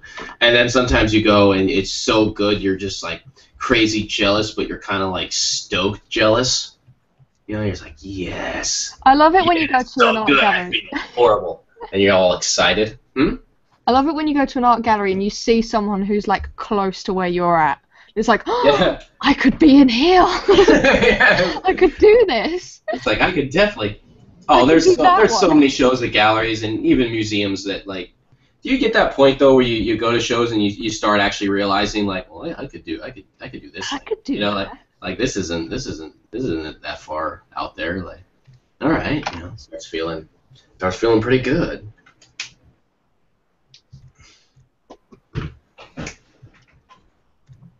I think I've stopped making progress, so I think it's probably good. That's what everyone thinks. No, I mean with my picture, my current picture right here. Oh, I thought you meant in general. I was like, whoa. All right. No, I'm done. think I think I've I taken this. As, yes, that's Mm. I am. I'm at. Uh, I've plateaued. Hey, I don't I'm done. go Calling it a any- wraps. It's been fun, guys. I'm uh, I'm not making art anymore. I'm gonna go out I'm gonna go on outside. the top. like Seinfeld. I like how much later you jumped in, Anthony, and like you're already like, well, I'm I'm I'm, I'm still sitting here, kind of like, oh, I gotta do this, and Well, you picked a. I mean, ink is really, really slow. why is it so time consuming? It's just drawing. Why does it take so long? I thought I was saving time by kind of jumping into this medium. I guess Well, it's just because there's so many lines, and that's really Yeah. it. But, It is. I mean, the brush. You know, the brush work that you did, or was that with the marker? The uh, this was with the marker. I mean, that helps. You know, you're gonna cut down. I had like a shit ton of time with that, but it's uh, I didn't do that much brush pen on this one. Maybe that's what also made it kind of. brush pen's quick on there, and usually I mix the two together, and there I'll I'll outline it out hmm with uh, with my one of my probably usually one of my micron pens, Mm. and then I go back in with the uh, uh, with brush pen and get the really dark areas in, and then usually once I have that, then I come back with uh, with like a thicker micron, and I start doing some of the cross hatching, and then I start filling back in that way. Just the areas that I think need it. It's still a time consuming.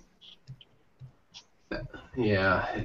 It- Normally, when I do ink, I, I do small, so I, I it doesn't take very long. I totally didn't need to tape this paper down either. I, I, I've been working larger because it's just so much easier to lay in the proportions on a larger sheet of paper. Yeah. so I've been just kind of sticking with that for a while. Where do I want to crop this? Do I want his face to be a little off center like that? I want to, yeah, maybe I do. It's kind of a weird place to crop it, but why not? I make my own rules. Hmm? I talk to myself while I use a ruler. I do what I want. I do what I want. You don't know me. Shut up. You don't know me. Oh, maybe I don't like that. Well, it's too late. I'm gonna do it. Doesn't matter. It's fine. Roll with it. Roll with it. You don't know me. I could probably take the tape off this. I don't really need that. I didn't use I didn't use so much ink that it would warp the paper or anything. This drawing's okay as far as sucky drawings go. Just Aw. kidding. No, I, I, I'm, I was. If I had to like do my own self critique, I don't like how rough my line work got over here. I mean, I was trying to work faster, and then this got really sloppy with the big marker. But I mean, I still have some more I'm gonna do into it, but it's getting kind of somewhere. There's something that I noticed about yours that I actually really like. Um, Mhm.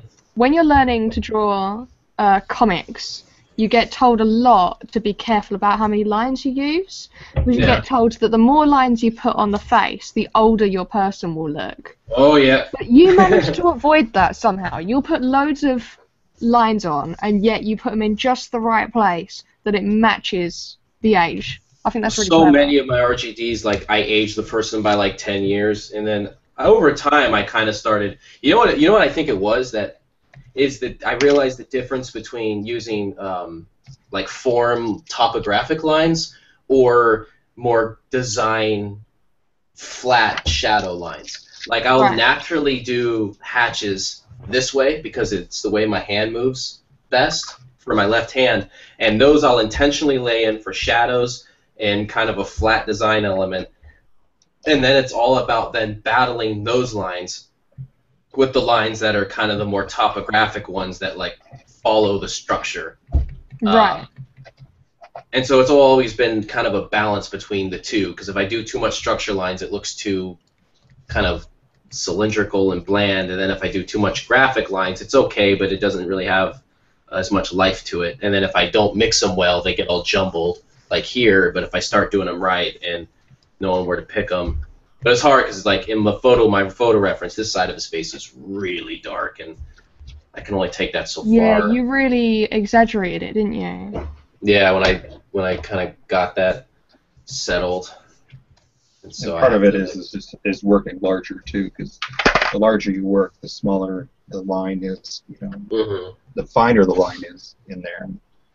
Finer lines Yeah. look less like wrinkles, more like halftone.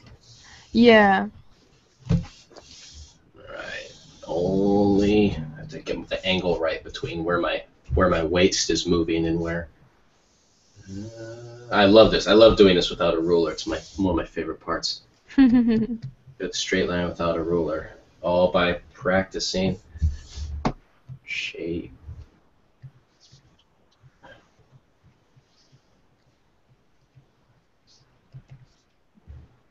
Oh balls!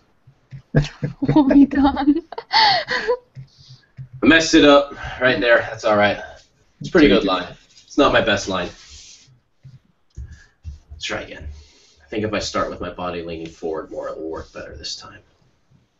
And then come down. Move this whole thing. Yeah, whatever. All right, here we go. No, gotta get that rhythm. Get the rhythm. It's like bobsledding. Here we go. like Oh, a bad start. That's okay. It always starts worse than it ends. Just like bobsledding.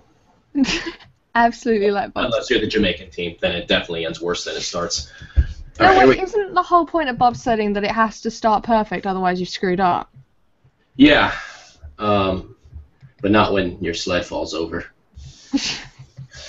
then it doesn't matter how you started, True. but at least you tried. At least you followed. You followed your dreams. I like I like movies about people with big dreams, even if they only will possibly get some mediocre level of success from it.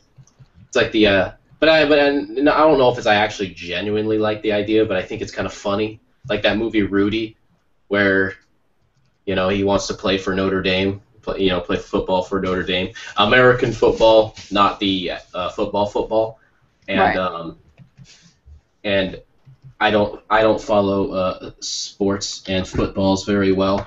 But the idea that he, uh, you know, he's not really built to be a football player.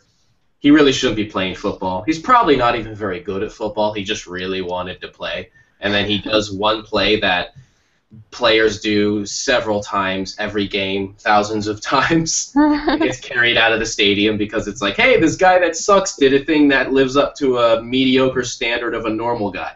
Like, and then that's like the carry out. The woo, dream came true.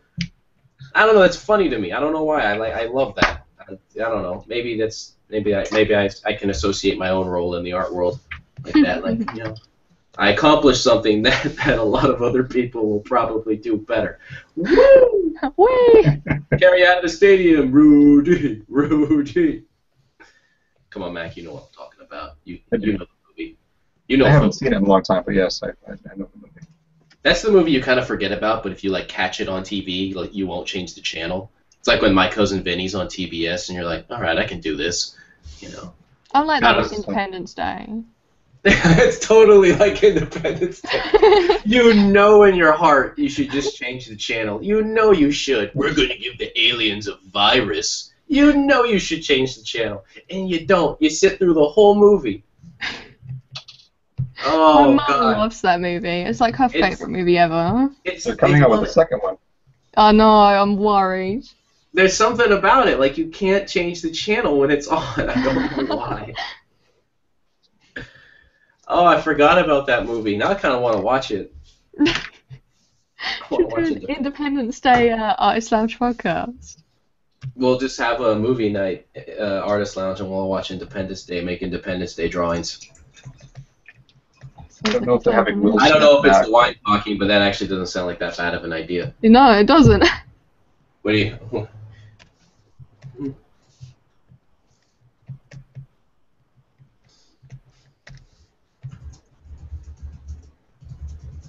I think I'm bordering on being done.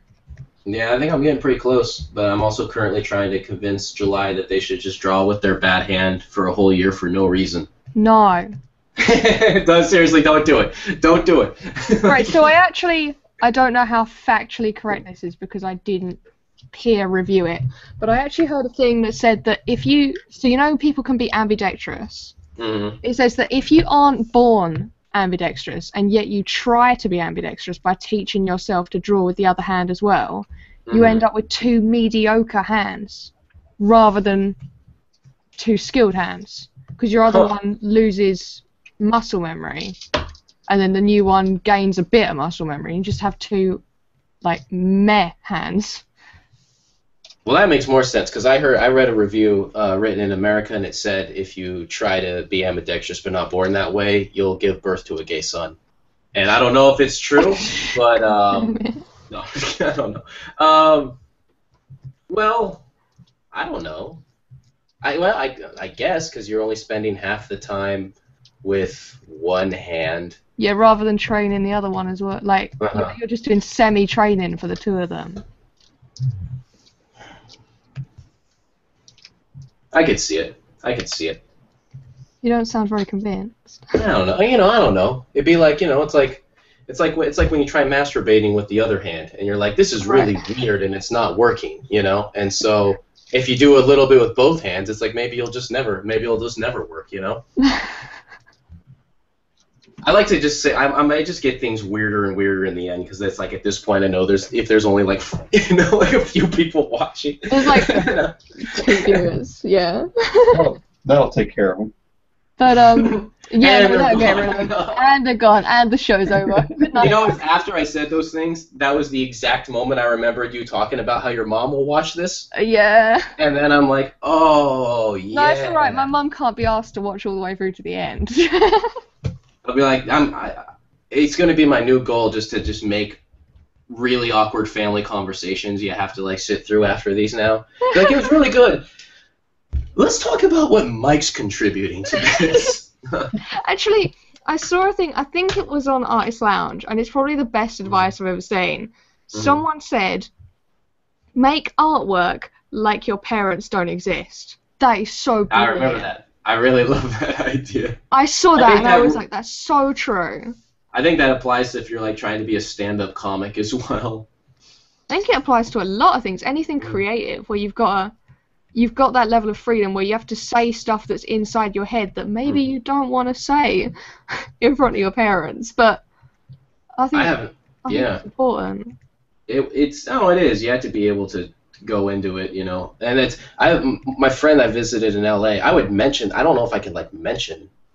I probably could, but I don't know if I can like mention the book he's doing or whatever or whatever because it's being published. So I don't know if there's Oh, don't say any things. specifics then. So I guess I can't, right? I don't know. But the fact of the matter is, is it, it's an auto, it's a you know an autobiography and about his family, and um, he did not hold back in writing that book and it was that thing where it's it's the family going through the uh, the struggle of the the father um, getting diagnosed with Lou Gehrig's, and it was already Oh, after like his family. His mom is like a cancer survivor, so all this time Oh, they're dealing God. with their cancer. Then the dad gets Lou Gehrig's, and uh, it's kind of like a you know it's a hard hard story and also a very dark comedy. Like he just like he'll just say like nothing holds him back. He'll say anything, and he had a lot of trouble with family members uh, when he would because he first started as a blog and he just was writing about these things as they were happening. Quite a fascinating blog because it was just interesting because it was really you really got the idea because since he since he didn't wasn't sugarcoating but he also had a really dark sense of humor you were getting the real idea of like how like what a disease like this will really do to a family you know And Yeah. he was in um he, he's a you know a, a screenwriter now and he was taking a class back when he was in school he was working on this on this uh, story about his family and he wasn't he wasn't embellishing anything. He was just saying exactly what was happening what people said how exactly how he felt and at one point like in a critique a student's like okay I, I can see this thing but when you went into this about like what was this started happening then with like your sister during the time that's a little much. No one's gonna ever believe that. It really happened you know? Yeah. um, but yeah he wrote like he wrote like like the people weren't there to see it you know? And it, it did definitely cause like static. I mean they're all good but yeah i mean it was the point where you know family members were really upset and uh, you know and when you're writing a book like that you had to like meet with a lawyer and read through the whole book with the lawyer which he said was pretty funny because he wrote he would he had a very like crude sense of humor. So he got to hear like a lawyer and the lawyer couldn't um, couldn't type well so he would dictate just by speaking into his computer so he got to like hear the lawyer have to like re- repeat these really offensive lines and really dirty jokes just into a but in like a, a very straightforward lawyer speak you know yeah. uh, I don't know that whole thing, but yeah, in regards to in regards to to that, I think that's great advice. I think you have to. I mean, if you want to be honest with yourself about it, yeah, you can't really restrict yourself, you know. Yeah, I think I'm only just starting to get to the edge of that because it's not been something I've felt comfortable like talking about anything that I'd think, oh no, I wouldn't want my mum or dad to see it because they share everything that I do. So Yeah, yeah, yeah. yeah. Okay. And then they're going to hear you say that right now in this, and then and then that talk's going to be even more awkward, you know. No. They, I, I- I think I'm just banking on the fact that uh, my my parents don't really use a lot of social network stuff or anything very much, and you know, so it's kind of like they wouldn't. They'd like, never they find would- out. Yeah. Yeah. you know, and now that's I know that's obviously the the prime thing. Like, yeah, you can troll Mike very easily, but but I think it's that. I mean, you know, eh, whatever. My dad comes over and he's like, I only know what you do because I follow your Twitter.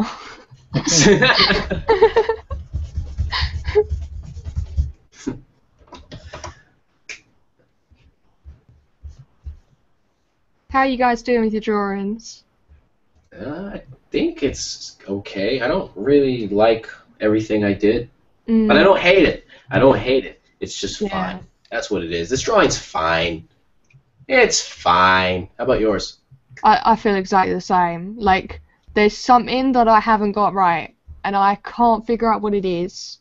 But there's something that I'm not quite happy with. But there's also other bits I do like. So I think I'm at a happy medium now. Yeah.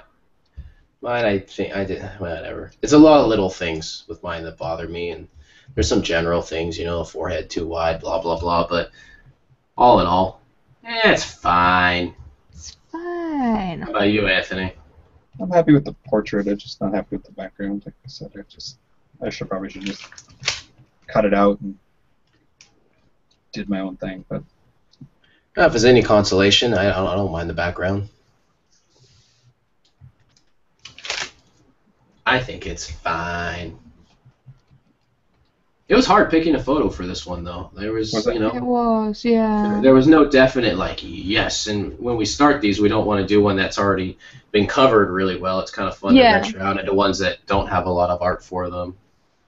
Yeah, we tried to find one that doesn't really have any comments on it or has like maybe one comment on it so that we Sure. can kind of get a bit of like attention to it.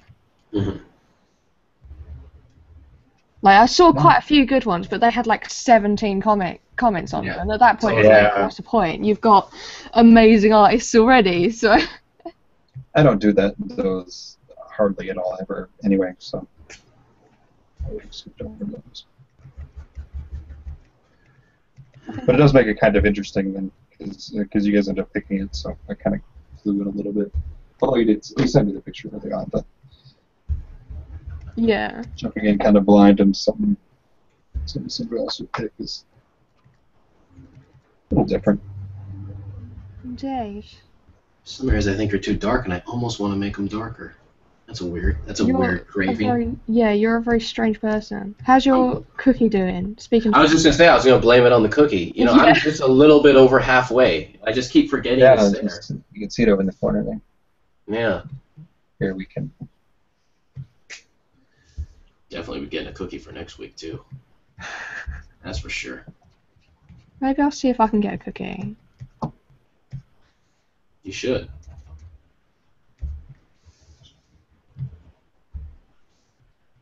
Okay. I think I'm gonna stop. Yeah, I think I think I could just probably sign this where it is and call it a wraps.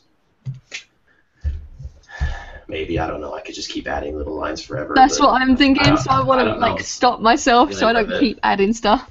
Yeah, because the hair is definitely darker, so I know I could do more there, but I don't think it really matters.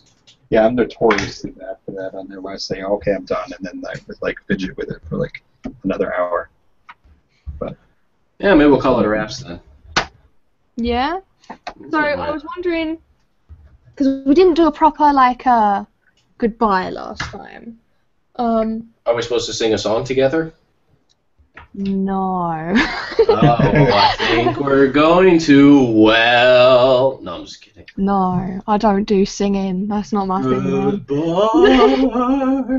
So I thought maybe we could finish off with uh, telling people where they can find our stuff, um, and also if you guys have got anything coming up in the week. So Mike, do you want to start? Just let people know your social medias, your website, and then if you've got any arty things this week.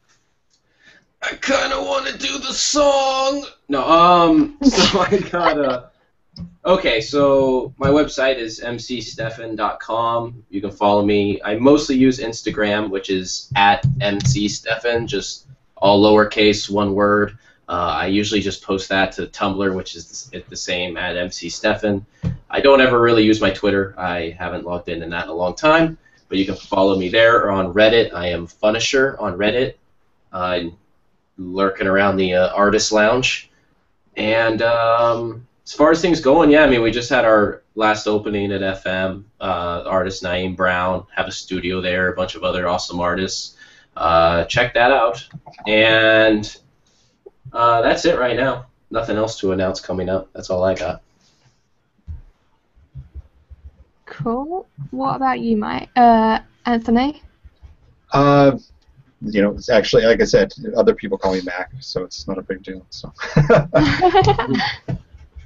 um, for social media stuff on there, uh, I am Mac Anthony on most everything. Uh, Reddit, I'm Mac Anthony. Tumblr, it's Mac Anthony 30. Uh, Instagram is Mac Anthony 30. Um, you can find me on Twitter as Mac Anthony, but I don't usually put most of my art stuff on there because I have a, a separate one. I think it's Mac Anthony Art on Twitter, um, which is basically I think everything that I have. Oh, I have a Facebook too. It's just Anthony Nelson Art. Um, but I don't. Most everything that goes up onto Instagram uh, will be there, or well, anything that's on my Facebook will be on Instagram because I post automatically from from there to, to there. That is the best Um, feature. Yeah, it is. It's because I just uh, Facebook annoys me, so I don't I don't go to Facebook very often, but I have to. Because, you know, that's like the only thing my family uses. So um, yeah.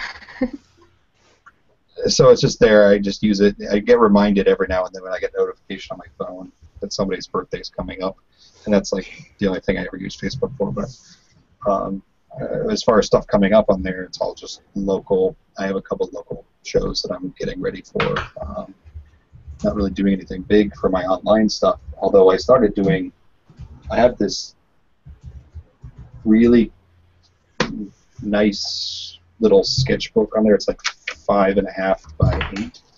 It's a toned sketchbook on there. I'm gonna try and fill the whole thing up with gouache figure stuff. So I've started been doing that right now, but I'll probably post something on that once I actually get more than two or three pictures in it.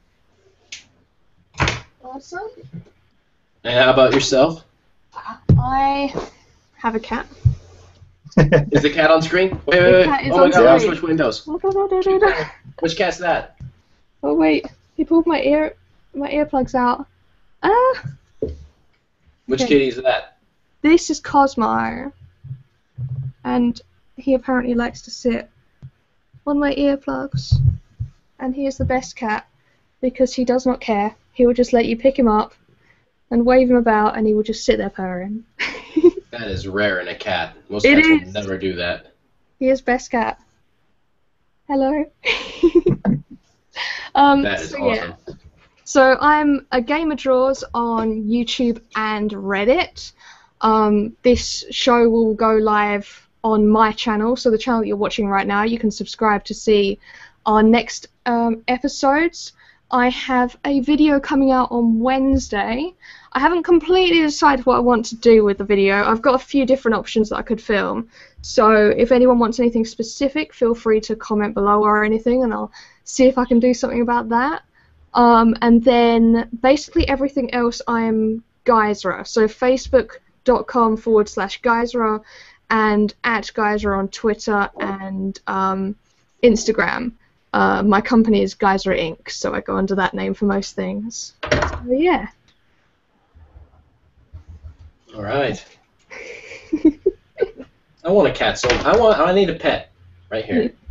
Yeah, Right here. This would be the pet where the pet goes. need one Bunch of of these. Gerbils. A bunch of pile of gerbils. Just billions of gerbils. Look at this guy. Billions and billions of gerbils. I think that would be good.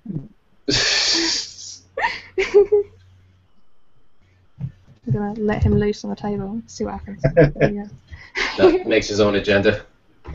Brilliant. Well, I think everyone's Alright. artwork really turned out well. I really like it. It was a good round. It was a good round. yeah. Are we you. all going to post it together, or is it just going to? Yeah, I'll we're gonna post it. We'll to, go post it. to Reddit Gets Drawn. Yeah, absolutely. Um, see it a little and- better. if anyone has any questions that they think of whilst they're watching the playback of this video, um, you can leave them in the comments below, and then if we see anything interesting, or even in the uh, in the Reddit thread or something like that, um, and we'll pick them up and talk about them next week, which is what we did during this show. So we'll see you again uh, next week. Thank you for joining us, Anthony. Sure. Thank you for having me. Peace. Bye.